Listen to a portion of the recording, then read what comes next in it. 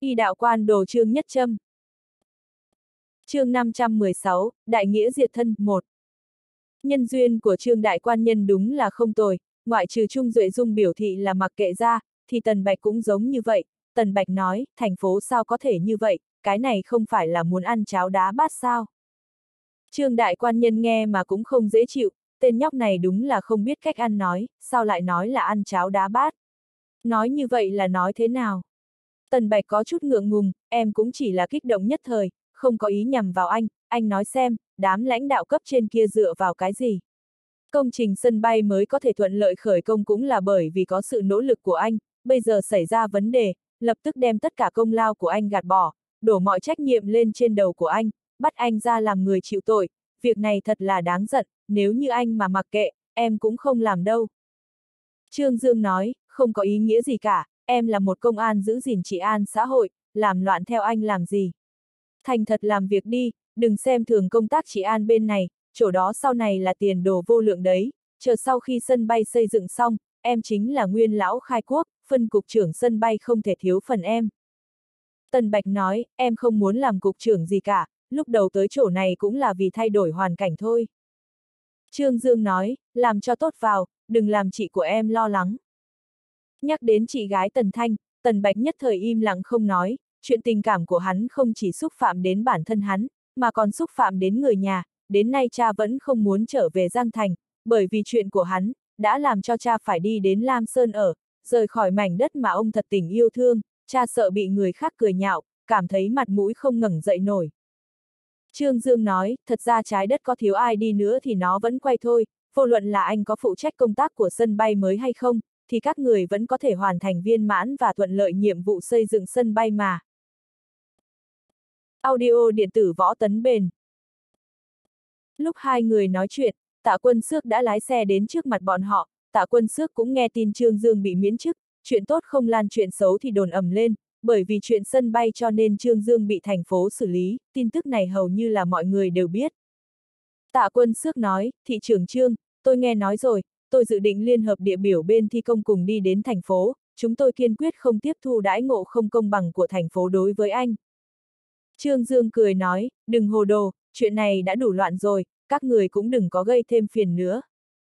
Tạ quân Sước nói, không phải là gây thêm phiền, là bất bình cho anh, từ khi sân bay mới khởi công đến nay, công lao cực khổ của một mình anh vẫn còn đó, thành phố sao có thể đối đãi với anh như vậy được chứ? Trương Dương nói, nghe tôi khuyên một câu, là bạn của tôi, muốn tốt cho tôi thì đừng quản chuyện này, lần cải cách và chỉnh đốn này đích thật là do cá nhân tôi dựng lên, tôi phải gánh vác trách nhiệm, nói xong hắn cười cười với Tần Bạch, lại gật đầu với tạ quân xước, xoay người đi đến chiếc xe cách đó không xa.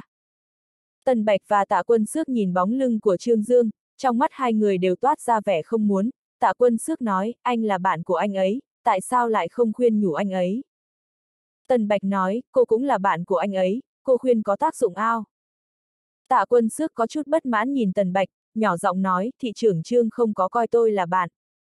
Tần Bạch nói, chuyện mà anh ấy đã quyết định, thì không ai có thể khuyên được anh ấy đâu, lần này anh ấy vì Giang Thành mà phải mang tiếng xấu. Tạ quân Sức nó, đám lãnh đạo Giang Thành bị mù hết rồi sao? Tần Bạch nói, con mắt của lãnh đạo bình thường đều ngó lên cao cả, bọn họ rất ít khi nào nhìn xuống dưới, phía dưới rốt cục là xảy ra cái gì, bọn họ cũng không quan tâm, lúc làm việc thì có người phía dưới đi làm, xảy ra chuyện thì đương nhiên cũng có người phía dưới gánh chịu. Tạ quân Sước nói, nhìn không ra cậu còn hiểu cách làm quan hơn tôi. Tần Bạch nói, đó là đương nhiên. Tạ quân Sước đối với vị sở trưởng mới tới này cũng có nghe nói qua một ít, cô nhỏ giọng nói, chị của anh là phó thị trưởng Lam Sơn sao? Tần Bạch đột nhiên cảnh giác lên, cái này có liên quan gì đến cô? Tạ quân Sước liếc hắn ta một cái, hừ, không phải là có một chị gái làm thị trưởng sao? Cô ta không quản được tôi, đừng có yêu cầu tôi làm cái gì cả. Tần Bạch bị lời nói của cô ta làm cho đỏ mặt, nói tôi không có ý gì cả. Tạ quân xước nói, nhờ anh một việc. Tần Bạch lại lập tức cảnh giác lên. Tạ quân xước nói, đám công an các anh sao lúc nào cũng cảnh giác hết vậy. Hình như là biến đổi thành hai người hoàn toàn khác nhau. Tôi chỉ muốn kêu anh giúp tôi mời thị trưởng Trương đi ăn, tôi muốn đưa tiễn anh ấy. Tần Bạch nói, cô cũng không phải là không quen anh ấy đâu, vì sao không trực tiếp nói với anh ấy. Tạ quân sước nói, tôi sợ tâm tình của anh ấy không tốt, sợ anh ấy sẽ từ chối tôi. Thị trưởng trương trong khoảng thời gian này đã giúp tôi rất nhiều việc, về tình về lý tôi cũng phải biểu thị một chút, sở trưởng tần, có giúp tôi hay không? Tần Bạch suy nghĩ một lát, rốt cục nói, được rồi, để tôi thử xem. Miễn trừ đi tất cả chức vụ hành chính, đại biểu cho việc Trương Dương không chỉ rời khỏi hạng mục sân bay Giang Thành, hơn nữa tất cả chức vụ của hắn tại phong trạch cũng bị lấy lại sạch sẽ. Lần thứ hai đi vào trong tòa thị chính phong trạch, Trương Đại Quan Nhân có một loại cảm giác là vật còn mà người đã mất. Trương Dương đi đến phòng làm việc của mình, Phó Trường Trinh đang giúp đỡ thu dọn đồ cho hắn, nghe được tiếng bước chân, ngẩng đầu lên nhìn, thấp giọng nói, thị trưởng Trương. Trương Dương cười nói, bây giờ tôi đã không còn là thị trưởng gì nữa rồi, cậu cũng không còn là thư ký của tôi. Phó Trường Trinh nói, đã làm một lần, vĩnh viễn vẫn vậy. Trương Dương vỗ vỗ vai của hắn, nói chờ chuyện này qua rồi, cấp trên an bài cho tôi một công tác khác, cho cậu làm thư ký của tôi nữa. Phó Trường Trinh gật đầu, một lời đã định. Trong đám lãnh đạo phong trạch, Tôn Đông Cường là người đầu tiên biết tin Trương Dương bị miễn chức, gã cũng biểu thị sự đồng tình với tao ngộ của Trương Dương, gã cảm thấy khá khó hiểu, Đỗ Thiên Giã và Trương Dương có thể nói là tình như thủ túc, vì sao ông ta lại làm như vậy với Trương Dương? Lẽ nào chuyện của sân bay Giang Thành thật sự nghiêm trọng đến nổi phải bắt Trương Dương đứng ra gánh chịu trách nhiệm như vậy sao? Cha vợ Triệu Dương Lâm cũng không có nhiều bình luận về việc này cho lắm, chỉ là kêu gã làm tốt công tác của mình, không nên bị người khác làm ảnh hưởng. Việc cấp bách của Tôn Đông Cường bây giờ chính là nhận công tác bàn giao, trở thành bí thư thị ủy phong trạch, làm cho con đường làm quan của gã bay vọt lên. Cái này là điểm then chốt nhất, có ảnh hưởng cực kỳ quan trọng đến sự phát triển sau này của gã. chương 516, Đại nghĩa diệt thân 2 Bí thư thị ủy Thẩm Khánh Hoa cũng không có cảm thấy hả hê gì cho lắm, ông ta làm người lãnh đạo đệ nhất tại phong trạch cũng không quá lâu, tuy rằng quan hệ của ông và Trương Dương cũng không được tốt đẹp, nhưng mà ông cũng có cảm giác khó tránh số kiếp với tao ngộ của Trương Dương, chính trị chính là cái dạng như vậy đó, mặc kệ là trước đó bạn có nỗ lực như thế nào, vô luận là bạn đã làm ra bao nhiêu chuyện, nhưng mà nói xui xẻo một chút là nếu một ngày nào đó tai nạn rơi xuống đầu bạn, lãnh đạo muốn truy cứu trách nhiệm của bạn, thì bạn không thể nào chối từ được. Thẩm Khánh Hoa nhìn khung cảnh yên bình lặng lẽ của phong trạch qua màn cửa sổ, thấy con đường làm quan của mình đã đi đến cuối đường rồi. Trên chính trị không ai nói tình cảm cả, với quan hệ của Trương Dương và Đỗ Thiên Giã mà còn gặp phải kết cục này, còn mình thì sao? Thẩm Khánh Hoa suy nghĩ đến nổi nhập thần, nghe tiếng gõ cửa phòng vang lên, vẻ mặt tươi cười của Trương Dương đi vào. Thẩm Khánh Hoa cảm thấy vô cùng kinh ngạc, tình cảnh hiện tại của Trương Dương như vậy mà còn có thể cười được sao, tố chất tâm lý của tên nhóc này đúng không phải bình thường. Trương Dương mỉm cười nói, bí thư thẩm, tôi đến đây là để đặc biệt cáo biệt ông, thẩm Khánh Hoa gật đầu, chỉ vào cái ghế đối diện, nói, ngồi đi. Trương Dương ngồi xuống. Thẩm Khánh Hoa nói, chuyện của cậu tôi đã nghe qua rồi, người thanh niên bị một ít ngăn cản cũng chưa chắc đã là chuyện xấu, chỉ cần trải qua bài học này, sau đó còn có cơ hội. Trương Dương cười nói, cảm ơn lời vàng ý ngọc của bí thư thẩm. Thẩm Khánh Hoa nói, cậu đến phong trạch tuy rằng không lâu, nhưng cũng làm ra không ít chuyện, cống hiến của cậu đối với phong trạch sẽ không bị lãng quên. Trương đại quan nhân trêu chọc, bí thư thẩm, ông đừng nói như vậy được không? Nghe thế nào cũng giống điếu văn quá. Thẩm Khánh Hoa không nhịn được cười, nói chuyện mẹ của tôi còn chưa chính thức nói lời cảm ơn với cậu. Trương Dương nói, chỉ là một cái nhấc tay, không cần khách khí đầu bí thư thẩm, thật ra lúc trước tôi cũng có nhiều chỗ đắc tội với ông, nhưng mà con người của tôi từ trước đến giờ đều là nhìn việc không nhìn người, ông ngàn vạn lần đừng để trong lòng. Thẩm Khánh Hoa nói, lúc trước không biết cậu, nhưng bây giờ đã hiểu biết về cậu một ít rồi, thật là luyến tiếc cậu. Trương Đại Quan Nhân cười nói, nếu bí thư thẩm luyến tiếc tôi, hay là để tôi báo cáo với thành phố, xin thành phố cho phép tôi đi theo bên cạnh ông làm việc.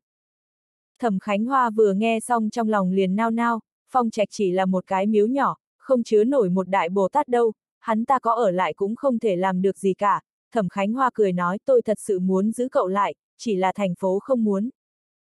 Trong đáy lòng của Trương Dương mắng to một tiếng dối trá, chỉ là nghĩ lại dù sao thì mình cũng không phải là dối trá sao, nếu thật sự muốn ở lại thì sẽ bị giáng cấp, hắn cũng không muốn thấy tình cảnh đó đâu, nói lời này ra chẳng qua là chọc ghẹo lão thẩm một chút thôi. Trương Dương nói, bí thư thẩm, tôi đến phong trạch không lâu, nhưng mà đã sản sinh ra tình cảm rất sâu với nơi này, rất nhiều đầu tư là do tôi mời vào, tôi mong rằng sau khi tôi đi, bí thư thẩm không nên thay đổi chính sách hiện tại, thay đổi lời hứa hẹn ban đầu của chúng ta, chúng ta chỉ có biểu hiện ra thành tín, thì mới có thể lưu lại những nhà đầu tư này, mới có thể làm cho kinh tế của phong trạch phát triển thịnh vượng. Thẩm Khánh Hoa nghe được, trước khi hắn đi mà vẫn còn quan tâm đến phong trạch, không khỏi có chút cảm động, xem ra lúc trước mình đã có quá nhiều thành kiến đối với Trương Dương rồi, tuy rằng biểu hiện của hắn là bất cần đời, chỉ là làm việc rất tập trung chăm chú, Thẩm Khánh Hoa nói cậu yên tâm, tôi sẽ đặc biệt quan tâm đến chuyện này. Trương Dương đứng dậy nói, bí thư thẩm, tôi đi.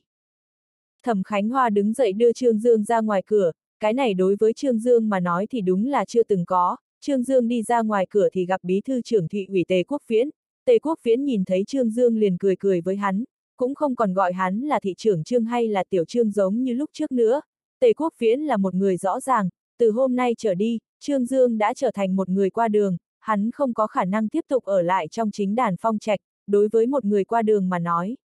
Ông cũng không cần phải tốn nước miếng để làm gì cả.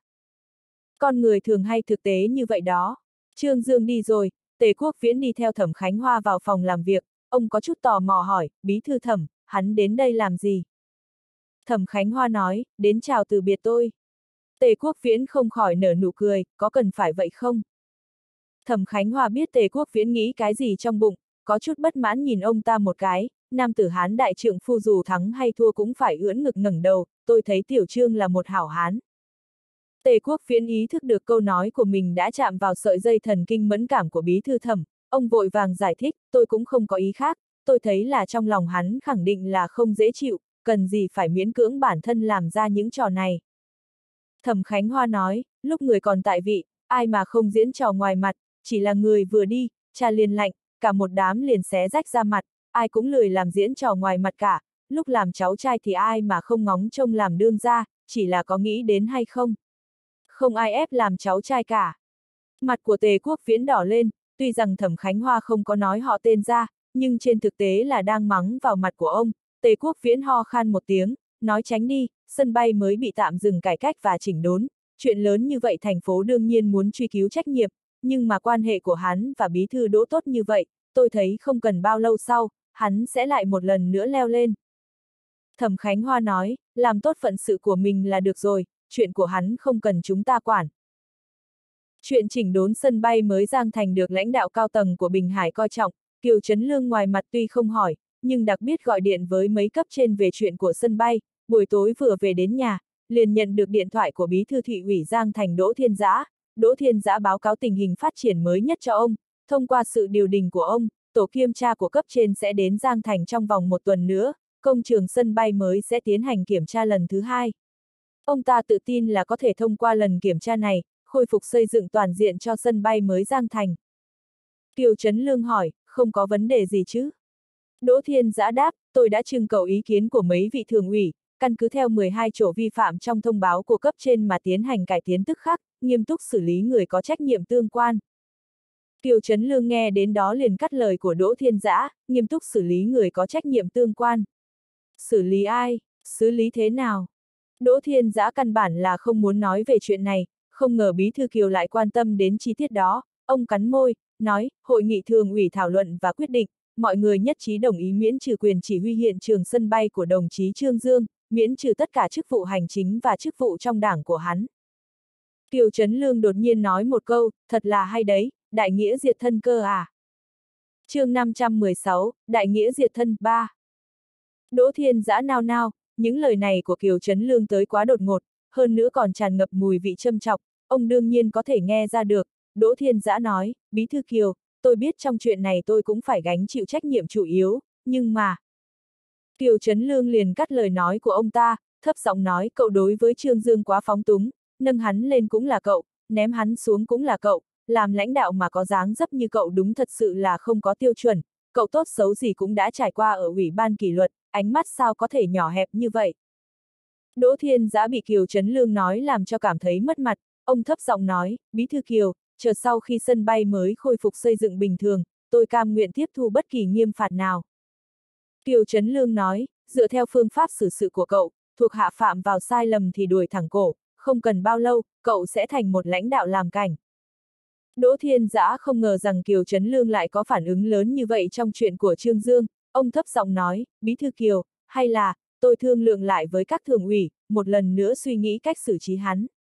Bằng tâm mà nói, Đỗ Thiên Giã cũng không muốn đối xử với Trương Dương như vậy, nhưng mà ông cũng có nỗi khổ riêng của ông, nếu như không đá Trương Dương ra khỏi sân bay mới này, không để cho hắn nếm chút vị đắng, thì vấn đề mà sân bay mới đang đối mặt rất khó giải quyết trong thời gian ngắn, cái này không phải là đại nghĩa diệt thân, mà là nhịn đau bỏ vật yêu thương. Kiều Trấn Lương nói, cậu muốn xử lý như thế nào thì cứ xử lý như thế ấy, tôi chỉ muốn nhìn thấy kết quả, đừng quên lời hứa của cậu với tôi, mau chóng giải quyết chuyện sân bay mới, công trình trọng điểm của tỉnh bị các người biến thành bộ dạng này, ngay cả tôi cũng cảm thấy mất mặt thay cho cậu. Kiều Trấn Lương nói xong câu đó liền cúp điện thoại. Con gái Kiều Mộng Viện vừa về không lâu xuất hiện bên cạnh ông, đem một tách trà đặt lên bàn trà trước mặt ông, Kiều Trấn Lương mỉm cười nói, trở về rồi, đi cùng mẹ của con đến tế tự am nhiều ngày như vậy, thế nào? Có hiểu biết gì không? Kiều Mộng Viện nhàn nhạt nói, chỉ là nói chuyện kinh Phật thôi, cha không có hứng thú đâu. Kiều Trấn Lương gật đầu.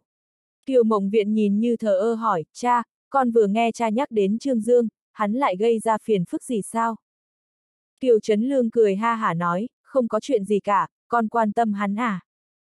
Trong lòng Kiều Mộng Viện bất chợt hoảng hốt, nhưng mà ngoài mặt thì cô vẫn tỏ ra không chút dao động, tố chất tâm lý của cô và tính tình hơn phân nửa là do di truyền. Kiều Mộng Viện nói chúng con là bạn bè, bạn bè quan tâm lẫn nhau thì có gì kỳ quái. Kiều Trấn Lương gật đầu nói, công trình sân bay Giang Thành xảy ra vấn đề, Đỗ Thiên Giã đã miễn chức của hắn. Kiều Mộng Viện A lên một tiếng, trong lòng không khỏi sinh ra một tia lo âu, cô biết công trình sân bay Giang Thành này đối với Trương Dương mà nói là một việc rất là quan trọng, bây giờ Đỗ Thiên Giã lại miến chức của hắn, trong lòng Trương Dương khẳng định là không dễ chịu. Kiều Mộng Viện nói, Trương Dương có cống hiến rất lớn đối với sân bay mới này, lúc trước hắn kéo đến nhiều đầu tư như vậy, lúc sân bay khởi động gặp phải khó khăn, hắn thuyết phục bên nhận thầu rất nhiều, Đỗ Thiên Giã làm như vậy đối với hắn có chút không công bằng. Kiều Trấn Lương nói, chuyện bên Giang Thành cứ để cho bọn họ giải quyết, cha không thích hợp hỏi, những lời này đã cắt đứt suy nghĩ cầu xin giúp đỡ của con gái. Kiều Mộng Viện trừng to mắt ra nói, cha, con mệt rồi, lên lầu nghỉ ngơi. Kiều Trấn Lương gật đầu, xoay người ra ngoài cửa sổ, phát hiện sắc trời đã tối lại rồi, liền nói với bóng lưng của con gái, Mộng Viện, con còn chưa ăn cơm tối. Kiều Mộng Viện khoát tay nói, không ăn đâu, gần đây hơi mập một chút, con nên giảm béo. Kiều Trấn Lương cười cười bất đắc dĩ, điện thoại của ông vang lên, là bí thư trưởng tỉnh ủy Diêm Quốc Đào gọi đến, Diêm Quốc Đào hỏi ông có ăn chưa, nếu như chưa thì mời qua ăn, hai nhà cách nhau cũng không xa, đi bộ khoảng trăm bước là tới, Kiều Trấn Lương đứng dậy đi đến phòng bếp, nói với vợ Mạnh truyền Mỹ đang bận việc bên trong, truyền Mỹ, Quốc Đào kêu chúng ta qua ăn. Mạnh truyền Mỹ nói, em không đi đâu, anh đi đi. Kiều Trấn Lương đành phải đi bộ qua nhà của Diêm Quốc Đào, Diêm Quốc Đào cũng chỉ có một mình ở nhà, vợ và con trai đều qua nhà ông bà rồi, tay nghề của Diêm Quốc Đào cũng không tệ, ông tự mình xuống bếp làm vài món ăn, cười nói, Bí Thư Kiều, buổi sáng tôi có đề cập với ông, kêu ông buổi tối đến ăn, chỉ là chờ mãi không thấy ông đến, thấy không có dấu hiệu gì, cho nên mới gọi điện qua mời ăn, chị dâu và cháu gái không đi cùng sau. Kiều Trấn Lương nói, một người niệm Phật một người giảm béo, tôi ở nhà nữa cũng sắp bị thiếu chất dinh dưỡng rồi. Diêm Quốc Đào cười ha hả, ông đem phần canh gà đã hấp xong ra, cho nên tôi mới đặc biệt tăng thêm một ít dinh dưỡng cho lãnh đạo, ông ta đem chai rượu chuẩn bị tốt ra, rót cho Kiều Trấn Lương một ly, Kiều Trấn Lương bình thường cũng không có uống nhiều rượu, từ sau khi phát hiện ra bệnh tiểu đường, thì hầu như là nâng cốc cũng khách khí, nhưng mà lúc ở cùng một chỗ với vị bộ hạ cũ Diêm Quốc Đào này, thì ông thỉnh thoảng có uống vài ly. Rót đầy hai ly rượu rồi, Diêm Quốc Đào mới nói, Bí Thư Kiều, chuyện lần trước tôi vẫn chưa có kiểm điểm với ông. Kiều Trấn Lương cười nói, điểm điểm cái gì? Cậu nói chuyện gì vậy?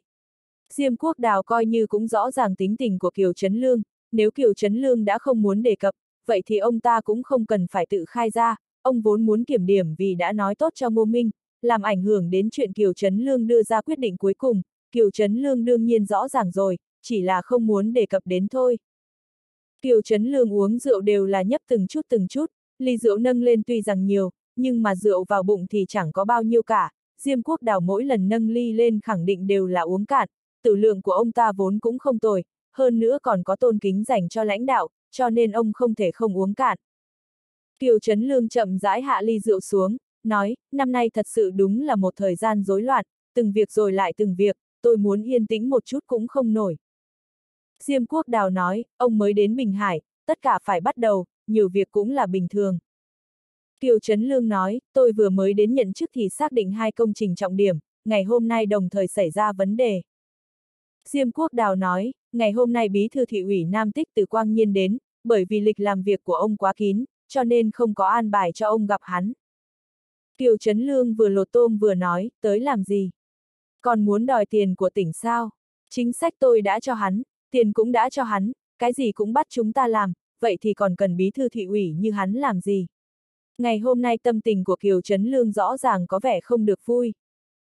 Diêm Quốc Đào cười nói, tài chính của Nam Tích gần đây quả thật là gặp không ít trắc trở, rất nhiều nhà đầu tư đáp ứng rồi nhưng không thấy đâu. chương 516, Đại nghĩa diệt thân 4 Kiều Trấn Lương nói, từ quang nhiên làm bí thư thị ủy nhiều năm như vậy, bản thân có năng lực, Hạ Bá Đạt là cán bộ do một tay bí thư cố để bạt, hai người bọn họ muốn kinh nghiệm có kinh nghiệm, muốn quan hệ có quan hệ, gặp phải vấn đề gì đều không tự giải quyết, đầu tiên nghĩ đến là giơ tay ra với tỉnh, đây là tính ỉ lại, tôi không gặp. Diêm Quốc Đào nói, hạng mục cảng nước sâu trước kia là do Thường Lăng không phụ trách. Kiều Trấn Lương nói, cậu có phải là đang nhắc nhở tôi, không nên rời Thường Lăng Phong ra khỏi cương vị quan trọng như vậy chứ? Hắn đi rồi thì cái đống ấy không thể thu dọn được. Diêm Quốc Đào nói, thay đổi giữa đường cũng không phải là một lựa chọn tốt, nhất là một hạng mục lớn như cảng nước sâu. Kiều Trấn Lương nói, Thường Lăng không có năng lực giải quyết vấn đề tài chính sao? Hắn ở Nam Tích, còn Hạ Bá Đạt làm gì? Ăn không ngồi rồi một chỗ sao? Diêm Quốc Đào nao nao, lúc này ông mới hiểu được dụng ý điều Thường Lăng không đi của Kiều Trấn Lương, Cố Doãn Chi mặc dù trước khi về hưu đã để bạt Hạ Bá Đạt lên làm thị trưởng thành phố Nam Tích, nhưng mà Hạ Bá Đạt ở Nam Tích, hắn cũng chỉ là một thị trưởng trên danh nghĩa, quyền nói chuyện tại Nam Tích cũng không lớn hơn được thường vụ phó thị trưởng Thường Lăng Phong, đối với một người chú trọng vào hiệu suất như Kiều Trấn Lương mà nói, đây là một chuyện không thể nào tha thứ được, Kiều Trấn Lương luôn cho rằng cán bộ của đáng cần phải rõ ràng trách nhiệm bản thân.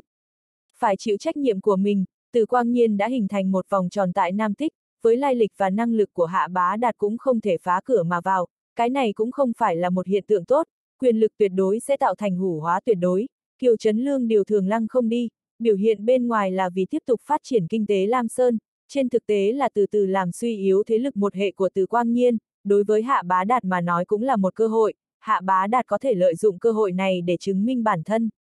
Cái này cũng là tình cảnh mà Kiều Trấn Lương muốn nhìn thấy. Diêm Quốc Đào nói, hạ bá đạt theo bí thư cố nhiều năm, am hiểu nhất là đạo làm quan, đối đãi khéo léo, biết đưa biết đẩy, chỉ thiếu đi cái năng lực một mình đảm đương thôi. Kiều Trấn Lương hỏi ngược lại, cậu làm sao mà biết? Một người chưa bao giờ được cầm quyền chỉ huy binh sĩ, cậu làm sao mà biết hắn có thể làm được tướng quân hay không? Diêm Quốc Đào nói, tốc độ phát triển kinh tế hai năm nay của Nam Tích còn không bằng Lam Sơn, mong rằng công trình cảng nước sâu có thể kích thích kinh tế của Nam Tích phát triển một lần nữa, một lần nữa trở thành người dẫn đầu trong Bình Hải. Kiều Trấn Lương nói, công trình hơn 10 tỷ, làm tốt thì sẽ là một cú kích thích đối với kinh tế, nhưng làm không tốt, sẽ làm liên lụy đến toàn bộ dân sinh trong thành phố. Mấy ngày nay tôi đều ngủ không được ngon, muốn khống chế đám thương nhân đầu tư ấy một cách chắc chắn, thật sự là cần một thủ đoạn nhất định. Diêm Quốc Đào nói, Nam Tích sang năm còn muốn làm lễ hội vận động của tỉnh, Nam Tích bây giờ giống như một công trình thật lớn, chỗ nào cũng là xây dựng, thoạt nhìn rất là náo nhiệt. Kiều Trấn Lương nói, tôi lo lắng cho Nam Tích thậm chí là còn nhiều hơn Bình Hải, cải cách mở ra, phát triển kinh tế, cũng không thể vĩnh viễn làm xây dựng. Hai ngày trước tôi nhận được một bức thư do nhân giới gửi, đây là kháng nghị của các tiểu thương mậu dịch Nam Tích, Nam Tích và Lam Sơn tiếp giáp, lúc trước Lam Sơn vẫn là tiểu đệ, hôm nay lại nhảy vượt qua lão đại Nam Tích, đám cán bộ Nam Tích khẳng định là trong lòng rất tức, bọn họ nghẹn cục tức này xuống muốn đấu với Lam Sơn một lần, cạnh tranh lành mạnh thì tôi không sợ. Nhưng mà tôi sợ bọn họ nóng vội đi lầm đường. Diêm Quốc Đào nói, Bí Thư Kiều thật sự là mưu sâu tính xa. Ông không phải là nịnh hót, những lời này phát ra từ trong tận đáy lòng, không ai biết kế hoạch trong đầu của Kiều Trấn Lương là gì, ông ta đi theo Kiều Trấn Lương lâu năm như vậy, mà vẫn không thể làm rõ được bước tiếp theo Kiều Trấn Lương sẽ làm cái gì. Ánh mắt của Kiều Trấn Lương người thường không cách nào so sánh được, cái này có liên quan đến xuất thân của ông, từ trên người của Kiều Lão được di chuyển ra cái nhìn đại cục mà người thường không cách nào có được, Diêm Quốc Đảo vẫn luôn cho là như vậy. Kiều Trấn Lương nói, sân bay mới Giang Thành bị lệnh cưỡng chế đình kiến, hai công trình trọng điểm của Bình Hải đều gặp phải vấn đề cả. Diêm Quốc Đào nói, nghe nói lần này là do quân ủy đứng ra. Kiều Trấn Lương cả giận nói, một sân bay dân dụng, còn cần bọn họ nhúng tay vào sao? Diêm Quốc Đào thấp giọng nói, theo tôi được biết, phía sau chuyện này có nguyên nhân. Kiều Trấn Lương nói, mặc kệ là nguyên nhân gì, người nhúng tay vào chuyện này nhất định có vấn đề, 12 chỗ cần chỉnh đốn và cải cách, lúc trước bọn họ làm cái gì? Vì sao lại muốn công trình phải dừng lại toàn bộ để triển khai cải cách và chỉnh đốn, cho dù muốn cải cách và chỉnh đốn, thì cũng có cần dừng lại hết không? Nhiều người như vậy, nhiều hạng mục như vậy, dừng một ngày thì tổn thất bao nhiêu? Làm bừa. Diêm Quốc Đào cũng hiểu Bí Thư Kiều đã nổi giận, ông cười nói, chuyện này hẳn là tạm thời thôi, lúc trước hạng mục sân bay có thể được phê duyệt nhanh như vậy, quan hệ của Đỗ Thiên Giã đã nổi lên tác dụng, tôi nghĩ hắn cũng có năng lực giải quyết chuyện này. Kiều Trấn Lương cười lạnh nói, tôi thật sự hy vọng chuyện này có thể phức tạp hơn một chút, mong rằng sân bay mới của Giang Thành tồn tại nhiều vấn đề, nhưng phương pháp giải quyết chuyện này, lại chính là tên nhóc Trương Dương ra khỏi chỗ, buồn cười, thật là buồn cười, buồn cười đến cực điểm, các thông báo cải cách và chỉnh đốn này rốt cục là do ai gửi, tôi nhất định phải làm rõ ràng, vì một tên nhóc con, mà phải tốn nhiều công nhiều sức như vậy, đáng hay sao? Diêm Quốc Đào nói, Bí Thư Kiều lẽ nào không nghe nói cách đây không lâu Trương Dương đã đến quậy ở đại viện quân khu của Kinh Thành sao? Kiều Trấn Lương nói, hắn có nhược điểm, chỉ là bây giờ xem ra, nhược điểm của rất nhiều người còn lớn hơn hắn nữa. Diêm Quốc Đào bỗng nhiên phát hiện ra Bí Thư Kiều cũng có che chở cho Trương Dương, điều này làm cho ông bắt đầu bội phục Trương Dương may mắn, chẳng biết là tên nhóc này đã đạp phải vận cứt chó gì, mà trong lúc gặp rủi ro luôn được quý nhân tương trợ. Diêm Quốc Đào thấp giọng nhắc nhở một câu, Bí Thư Kiều, người thanh niên Trương Dương này cũng có chút năng lực, nhưng mà năng lực gây chuyện của hắn còn mạnh hơn. Kiều Trấn Lương mỉm cười nói, vậy những lãnh đạo chúng ta nên làm gì? Nhân tấn kỳ tài, vật tấn kỳ dùng thành ngữ người thì ưu tiên cái tài, vật thì ưu tiên tác dụng hắn không phải biết gây chuyện sao. Vậy thì phái hắn đến chỗ gây chuyện là được. Diêm Quốc Đào không ngờ rằng một cán bộ cấp phó xử như Trương Dương lại khiến cho Kiều Trấn Lương quan tâm lớn như vậy, ông tò mò hỏi, Bí Thư Kiều, ông dự định hỏi chuyện của hắn. Kiều Trấn Lương không trực tiếp trả lời câu hỏi của Diêm Quốc Đào, ông thấp giọng nói, Đỗ Thiên Giã tuổi còn trẻ, không thấy rõ được bản chất của vấn đề, có chút lập trường cần phải kiên trì, cậu chỉ cần cúi đầu thấp một lần, thì người ta sẽ cho rằng cậu dễ ăn hiếp, lần sau nói không chừng còn đưa ra yêu cầu quá đáng hơn, vì đại cục thì cũng không thể phục tùng mù quáng, phải có lập trường kiên trì, cứ đơn giản nhượng bộ thì tuyệt đối không nhận được sự tôn trọng của người khác. chương 517, trong lòng biết rõ một. Lời nói của Kiều Trấn Lương đã làm cho Diêm Quốc Đào rơi vào trong trầm tư đáng kể, ông đã rõ ràng vì sao Kiều Trấn Lương lại để ý đến chuyện của một cán bộ cấp phó sử nho nhỏ như Trương Dương, chuyện sân bay mới Giang Thành lần này, theo Kiều Trấn Lương thấy là đã mạo phạm đến quyền uy của ông, đối phương đã vi phạm rồi, Kiều Trấn Lương rất không vui, vô luận là chuyện này nhằm vào ai. Bởi vì Trương Dương mà làm cho cả công trình sân bay mới Giang Thành phải dừng xây dựng để chỉnh đốn và cải cách, chuyện này hoang đường đến cực điểm rồi, Kiều Trấn Lương càng không vui hơn nữa là phương pháp xử lý của Đỗ Thiên Giã. Nếu như Đỗ Thiên Giã kiên chỉ chống lại áp lực, thân là bí thư tỉnh ủy Kiều Trấn Lương nhất định sẽ ra mặt giải quyết chuyện này, chỉ là Đỗ Thiên Giã lại lấy cái nhìn đại cục, lựa chọn nhượng bộ, hy sinh một mình Trương Dương, lấy đại cục làm trọng. Ngoài miệng thì Kiều Trấn Lương không có nói nhiều, nhưng mà trong lòng thì càng lúc càng thêm khó chịu. Diêm Quốc Đào đưa tay mang phần canh gà đặt trước mặt Kiều Trấn Lương, Kiều Trấn Lương nói, chỉ cần ngày nào tôi còn ở Bình Hải, thì ngày đó không cho phép người ngoài khoa tay múa chân với Bình Hải. Quốc Đào, lưu ý một chút, trước tiên cho Trương Dương đến Nam Tích vui vẻ qua ngày một chút. Diêm Quốc Đào tuy rằng biết Kiều Trấn Lương nhất định sẽ hỏi, nhưng thật không ngờ ông lại hỏi đến triệt để như vậy. Diêm Quốc Đào cười gật đầu nói tốt, ngày mai tôi sẽ làm, trong lòng càng lúc càng rõ ràng ý đồ của Bí Thư Kiều, chiêu thức ấy của Kiều Trấn Lương muốn cho quân đội xem, các người không phải là muốn vươn tay ra đến Bình Hải sao. Trong ba phần đất của t 6 này, tôi muốn nâng ai thì nâng kẻ đó.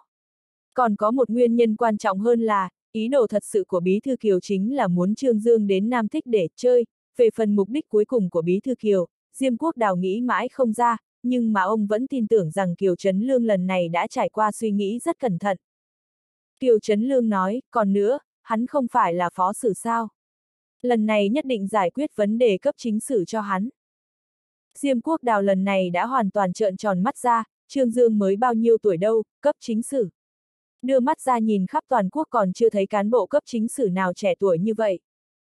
Kiều Trấn Lương căn dặn ông, chuyện này phải làm bí mật, đừng để người ta liên tưởng đến người của tôi, nói xong ông uống một ngụm canh gà, vừa uống vừa nói, thật thơm, quốc đào, tay nghề của cậu càng ngày càng tốt, thôi cậu đừng làm thư ký nữa, trực tiếp nấu cơm cho tôi là được. Diêm quốc đào cười nói, được chứ, chỉ cần bí thư Kiều muốn, tôi khẳng định là không có vấn đề.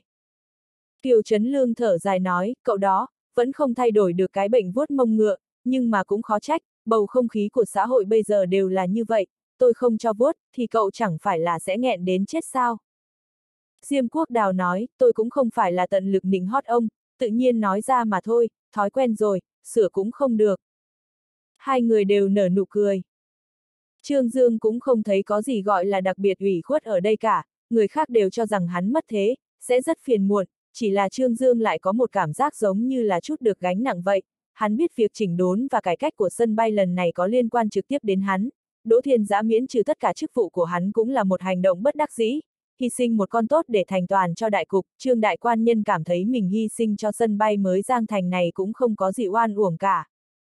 Tần Thanh sau khi nghe tin hắn bị miễn hết chức vụ xong liền gọi điện thoại đến, trong điện thoại từ tốn an ủi Trương Dương, bên này Trương Dương vừa mới cúp điện thoại xong, thì bên kia Kiều Mộng Viện đã gọi đến, Trương Dương nghe âm thanh của Kiều Mộng Viện liền không nhịn được nở nụ cười. Kiều Mộng Viện nói, cười cái gì vậy? Lúc này mà anh còn cười được sao? Trương Dương nói, tôi cười bởi vì tôi còn chưa thảm đến mức không ai hỏi thăm, gặp rủi ro đúng là không giả, nhưng mà cũng có không ít anh em gọi điện thoại cho quan tâm tôi. Kiều Mộng Viện nói, anh không sao chứ? Không phải là chịu không nổi kích thích, phát tác bệnh tâm thần luôn rồi chứ? Trương Dương cười ha hả nói, tôi còn chưa yếu đuối đến mức đó đâu, được rồi, cú điện thoại này rốt cục là đại biểu cho cá nhân cô hay là đại biểu cho bí thư Kiều an ủi tôi vậy? Kiều Mộng Viện nói, chỉ đại biểu cho cá nhân tôi. Trương Đại Quan Nhân thở dài nói, cũng đúng, tôi chỉ là một cán bộ cấp phó sử, bí thư Kiều có gặp cũng không nhớ. Kiều Mộng Viện nói, qua hai ngày nữa tôi sẽ hỏi giúp anh. Trương Dương lắc đầu nói, đừng khách khí, ngàn vạn lần đừng làm vậy, bây giờ tôi cảm ơn tổ chức đã cho tôi một cơ hội nghỉ ngơi lâu dài, bình thường muốn thoải mái một chút cũng không có cơ hội này đâu. Kiều Mộng Viện không nói gì, tuy rằng cô không nhìn thấy được biểu tình của Trương Dương bây giờ, nhưng mà lại suy đoán rằng trong nội tâm của Trương Dương chưa chắc đã dễ dàng như biểu hiện của hắn bây giờ. Trương Dương nói, yên tâm đi, tôi không sao cả, tuyệt đối không luẩn quẩn làm ra chuyện ngu xuẩn đâu. Quan trường chìm nổi là một việc rất bình thường rồi, ai mà biết được, lỡ hai ngày sau tôi lại được đề bạt lên thì sao? Lúc Trương Đại Quan Nhân nói ra những lời này thì không ngờ ngày ấy lại đến nhanh như vậy, sáng sớm hôm sau, điện thoại của Hạ Bá Đạt đã đánh thức hắn, Trương Dương và Hạ Bá Đạt tuy rằng đã quen nhau một thời gian rồi, chỉ là hai người ngoại trừ thỉnh thoảng gặp mặt ra, thì nói thẳng ra là cũng không gặp gỡ nhiều lắm, cố Doãn Chi sau khi nghỉ hưu, thì bọn họ hầu như là cắt đứt quan hệ luôn, cho nên cú điện thoại này của gã ta đã làm cho Trương Dương ít nhiều gì cũng cảm thấy kinh ngạc, mà lời nói của gã ta càng làm cho Trương Dương ngạc nhiên không ngớt. Câu đầu tiên mà Hạ Bá Đạt nói là, Trương Dương, chuyện của cậu tôi có nghe qua rồi, đến Nam Tích đi, đi thẳng vào vấn đề, vừa mở miệng ra liền mời hắn đi. Trương Dương sửng sốt, thị trường Hạ, ông có ý gì? Hạ Bá Đạt bên kia điện thoại sửng sốt, giúp người chết sống lại, đạo lý đơn giản như vậy mà cậu cũng không hiểu sao.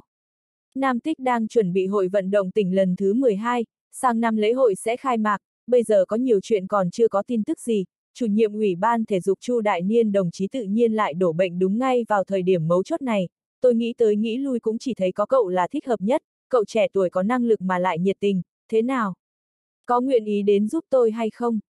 Trong lúc nhất thời Trương Dương không nghĩ thấu được nguyên nhân bên trong, chuyện này đối với hắn mà nói thật sự là quá đột nhiên, hắn sửng sốt một hồi lâu, nhanh chóng tiêu hóa tin tức của Hạ Bá Đạt, rồi mới mở miệng nói, thị trưởng Hạ, tôi vừa mới bị bí thư đỗ miễn chức, là một cán bộ có vấn đề, xử lý của tổ chức đối với tôi còn chưa xong. Hạ bá đạt cười nói, có vấn đề gì chứ? Chẳng qua chỉ là thái độ làm người gánh chịu trách nhiệm thôi, ông ta không cần cậu, tôi dùng cậu, cậu chỉ cần nguyện ý đến Nam Tích, tôi sẽ đem vấn đề cấp chính sử của cậu giải quyết. chương 517, trong lòng biết rõ, hai. Trương đại quan nhân nghe nói như thế, nhịp tim nhất thời đập nhanh lên, cấp phó sử lên chính sử, vẫn đều là tâm nguyện của hắn, chỉ là ở Giang Thành nỗ lực lâu như vậy vẫn không được đề đáp mong muốn. Đỗ Thiên Giã tuy rằng đã lén đáp ứng sang năm sẽ giải quyết cho hắn, chỉ là mắt thấy thời gian trôi qua, ai cũng không ngờ sân bay mới lại xảy ra chuyện chỉnh đốn và cải cách này, cấp chính sử của hắn thoạt nhìn sẽ chẳng bao giờ có, không ngờ rằng thời thế đưa đẩy, trong lúc hắn cho rằng tiền đồ bị nhục. Thì hạ bá đạ thân là thị trưởng của thành phố Nam Thích tự nhiên lại vươn cảnh cây ra, vớt hắn đến Nam Thích làm chủ nhiệm ủy ban thể dục, Trương Dương rất khó tin tưởng lỗ tai của mình, điều đầu tiên mà hắn nghĩ chính là cố Doãn Chi đã nghe đến tin tức của mình, thông qua hạ bá đạt để trợ giúp cho mình, lúc trước quan hệ của hắn và hạ bá đạt cũng chỉ là bình thường đến tầm thường, nhưng mà hành động đưa than sưởi ấm cho ngày tuyết rơi của hạ bá đạt đã làm cho Trương Dương rất cảm động, Trương Dương nói. Thị trưởng hạ, cảm ơn ý tốt của ông, chuyện của tôi có chút phức tạp, không muốn gây thêm phiền cho ông đâu.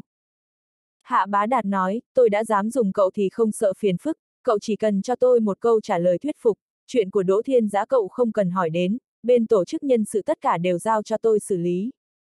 Trương Dương không ngờ rằng Hạ Bá Đạt lại sảng khoái như vậy, hắn vẫn còn đang do dự. Hạ Bá Đạt nói, Trương Dương, lúc trước cậu đâu phải như vậy, được hay không được cậu cho tôi một câu trả lời sảng khoái đi. Trương Dương mấp máy môi, hắn im lặng gần nửa phút đồng hồ, sau đó thấp giọng nói, được. Hạ Bá Đạt cúp điện thoại, biểu tình trên mặt cũng trở nên phức tạp đến cực điểm, ngồi một bên là bí thư trưởng tỉnh ủy Diêm Quốc Đào, ông ta và Hạ Bá Đạt là học viên cùng kỳ trong trường đảng Trung ương, cùng là xuất thân từ thư ký, nhưng mà Diêm Quốc Đào lên chức thuận lợi hơn Hạ Bá Đạt nhiều. Hạ Bá Đạt làm vẻ mặt mê mang hỏi, lão Diêm à, trong hồ lô của ông rốt cục là bán thuốc gì thế? Đỗ Thiên Giã vừa mới đuổi Trương Dương, ông lại kêu tôi dùng hắn, tên nhóc này cũng không phải là một bé ngoan, đi đến chỗ nào thì nhất định gây ra phiền phức ở chỗ đó. Chúng ta không bàn luận về chuyện cá nhân của hắn, nhưng mà chỗ của bí thư từ thì tôi đúng là không biết nên ăn nói thế nào. Diêm Quốc Đào cười nói, ông bạn học, sao ông càng sống càng sợ hãi vậy? Cứ mở miệng ra là bí thư từ bí thư từ, từ quang nhiên là bí thư thị ủy, ông là thị trường, các người một quản đảng nội một quản hành chính, cái gì ông cũng nghe theo ông ta, thôi cứ đi làm thư ký cho ông ta thì tốt hơn.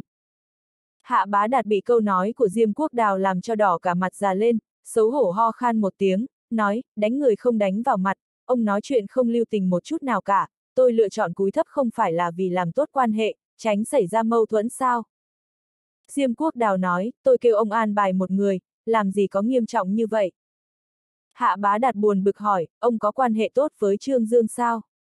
Sao tôi lại không biết? Tin tức của Hạ bá đạt xưa nay rất linh thông, ông biết quan hệ của Diêm Quốc Đào và Trương Dương không được tốt lắm, tất cả bởi vì Diêm Phi, Trương Dương và Diêm Quốc Đào đã từng xảy ra vài chuyện không được vui vẻ, ông mơ hồ đoán được phía sau chuyện này có người nào đó thúc đẩy, nếu Diêm Quốc Đào đã đứng ra, vậy thì nhân vật phía sau này cũng không khó tưởng tượng, mười phần là bí thư thị ủy Kiều Trấn Lương, nghĩ đến đây, Hạ Bá Đạt đã có tính toán.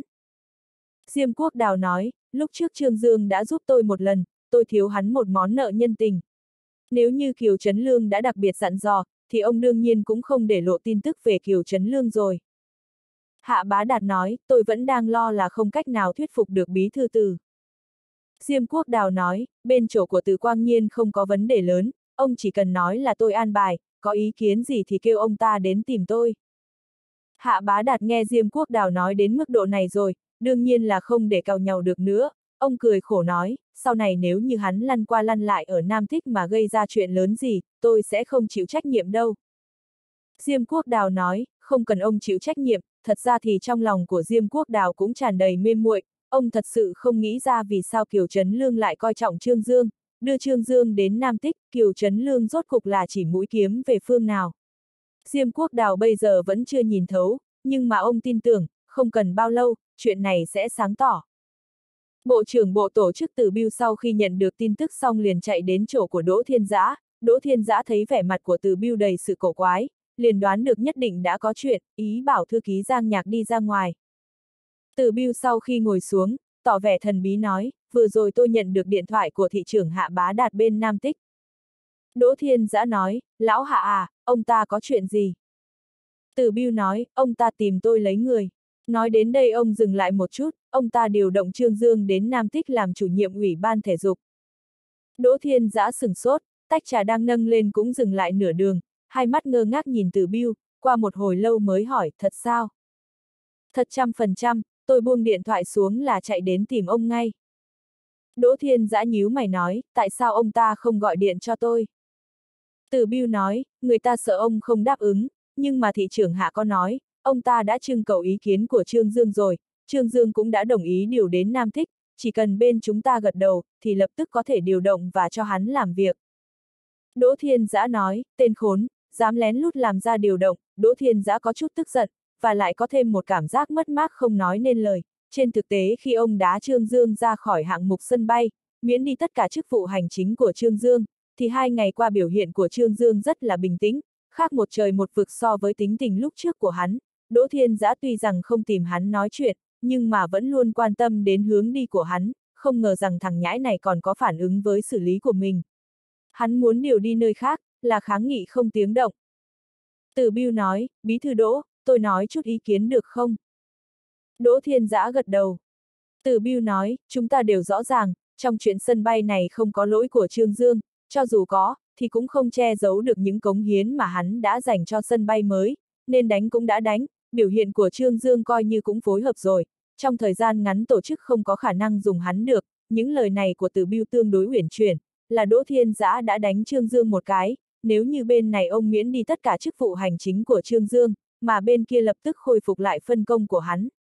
Thì cũng giống như là tự đánh vào mặt mình vậy, làm một bí thư thị ủy, ông ta không có khả năng hành động như vậy.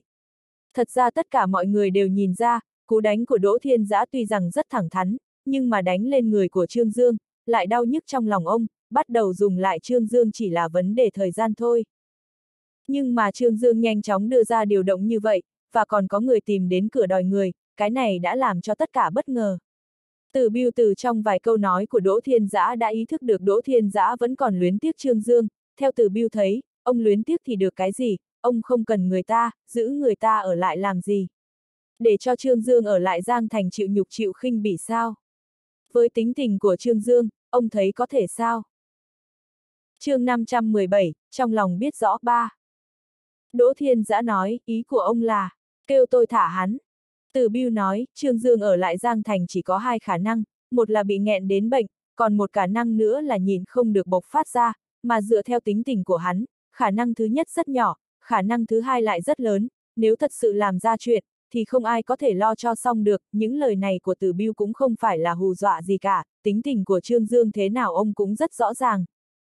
Đỗ Thiên Giã thở dài, ông thấp giọng nói, để cho tôi suy nghĩ, từ từ ngẫm lại. Từ Biêu rời đi rồi, Đỗ Thiên Giã ngồi một mình trong phòng làm việc, ông ta bắt đầu nhớ lại từ lúc kết bạn với Trương Dương, nhớ đến những trợ giúp mà Trương Dương đã cho mình, nhớ đến lúc bốn bề là địch thân trong nhà tù, cũng là do Trương Dương động thân mà ra, không tiếc vì một mình ông mà ngăn cơn sóng dữ, Đỗ Thiên Giã cảm thấy có một loại xấu hổ không nói nên lời.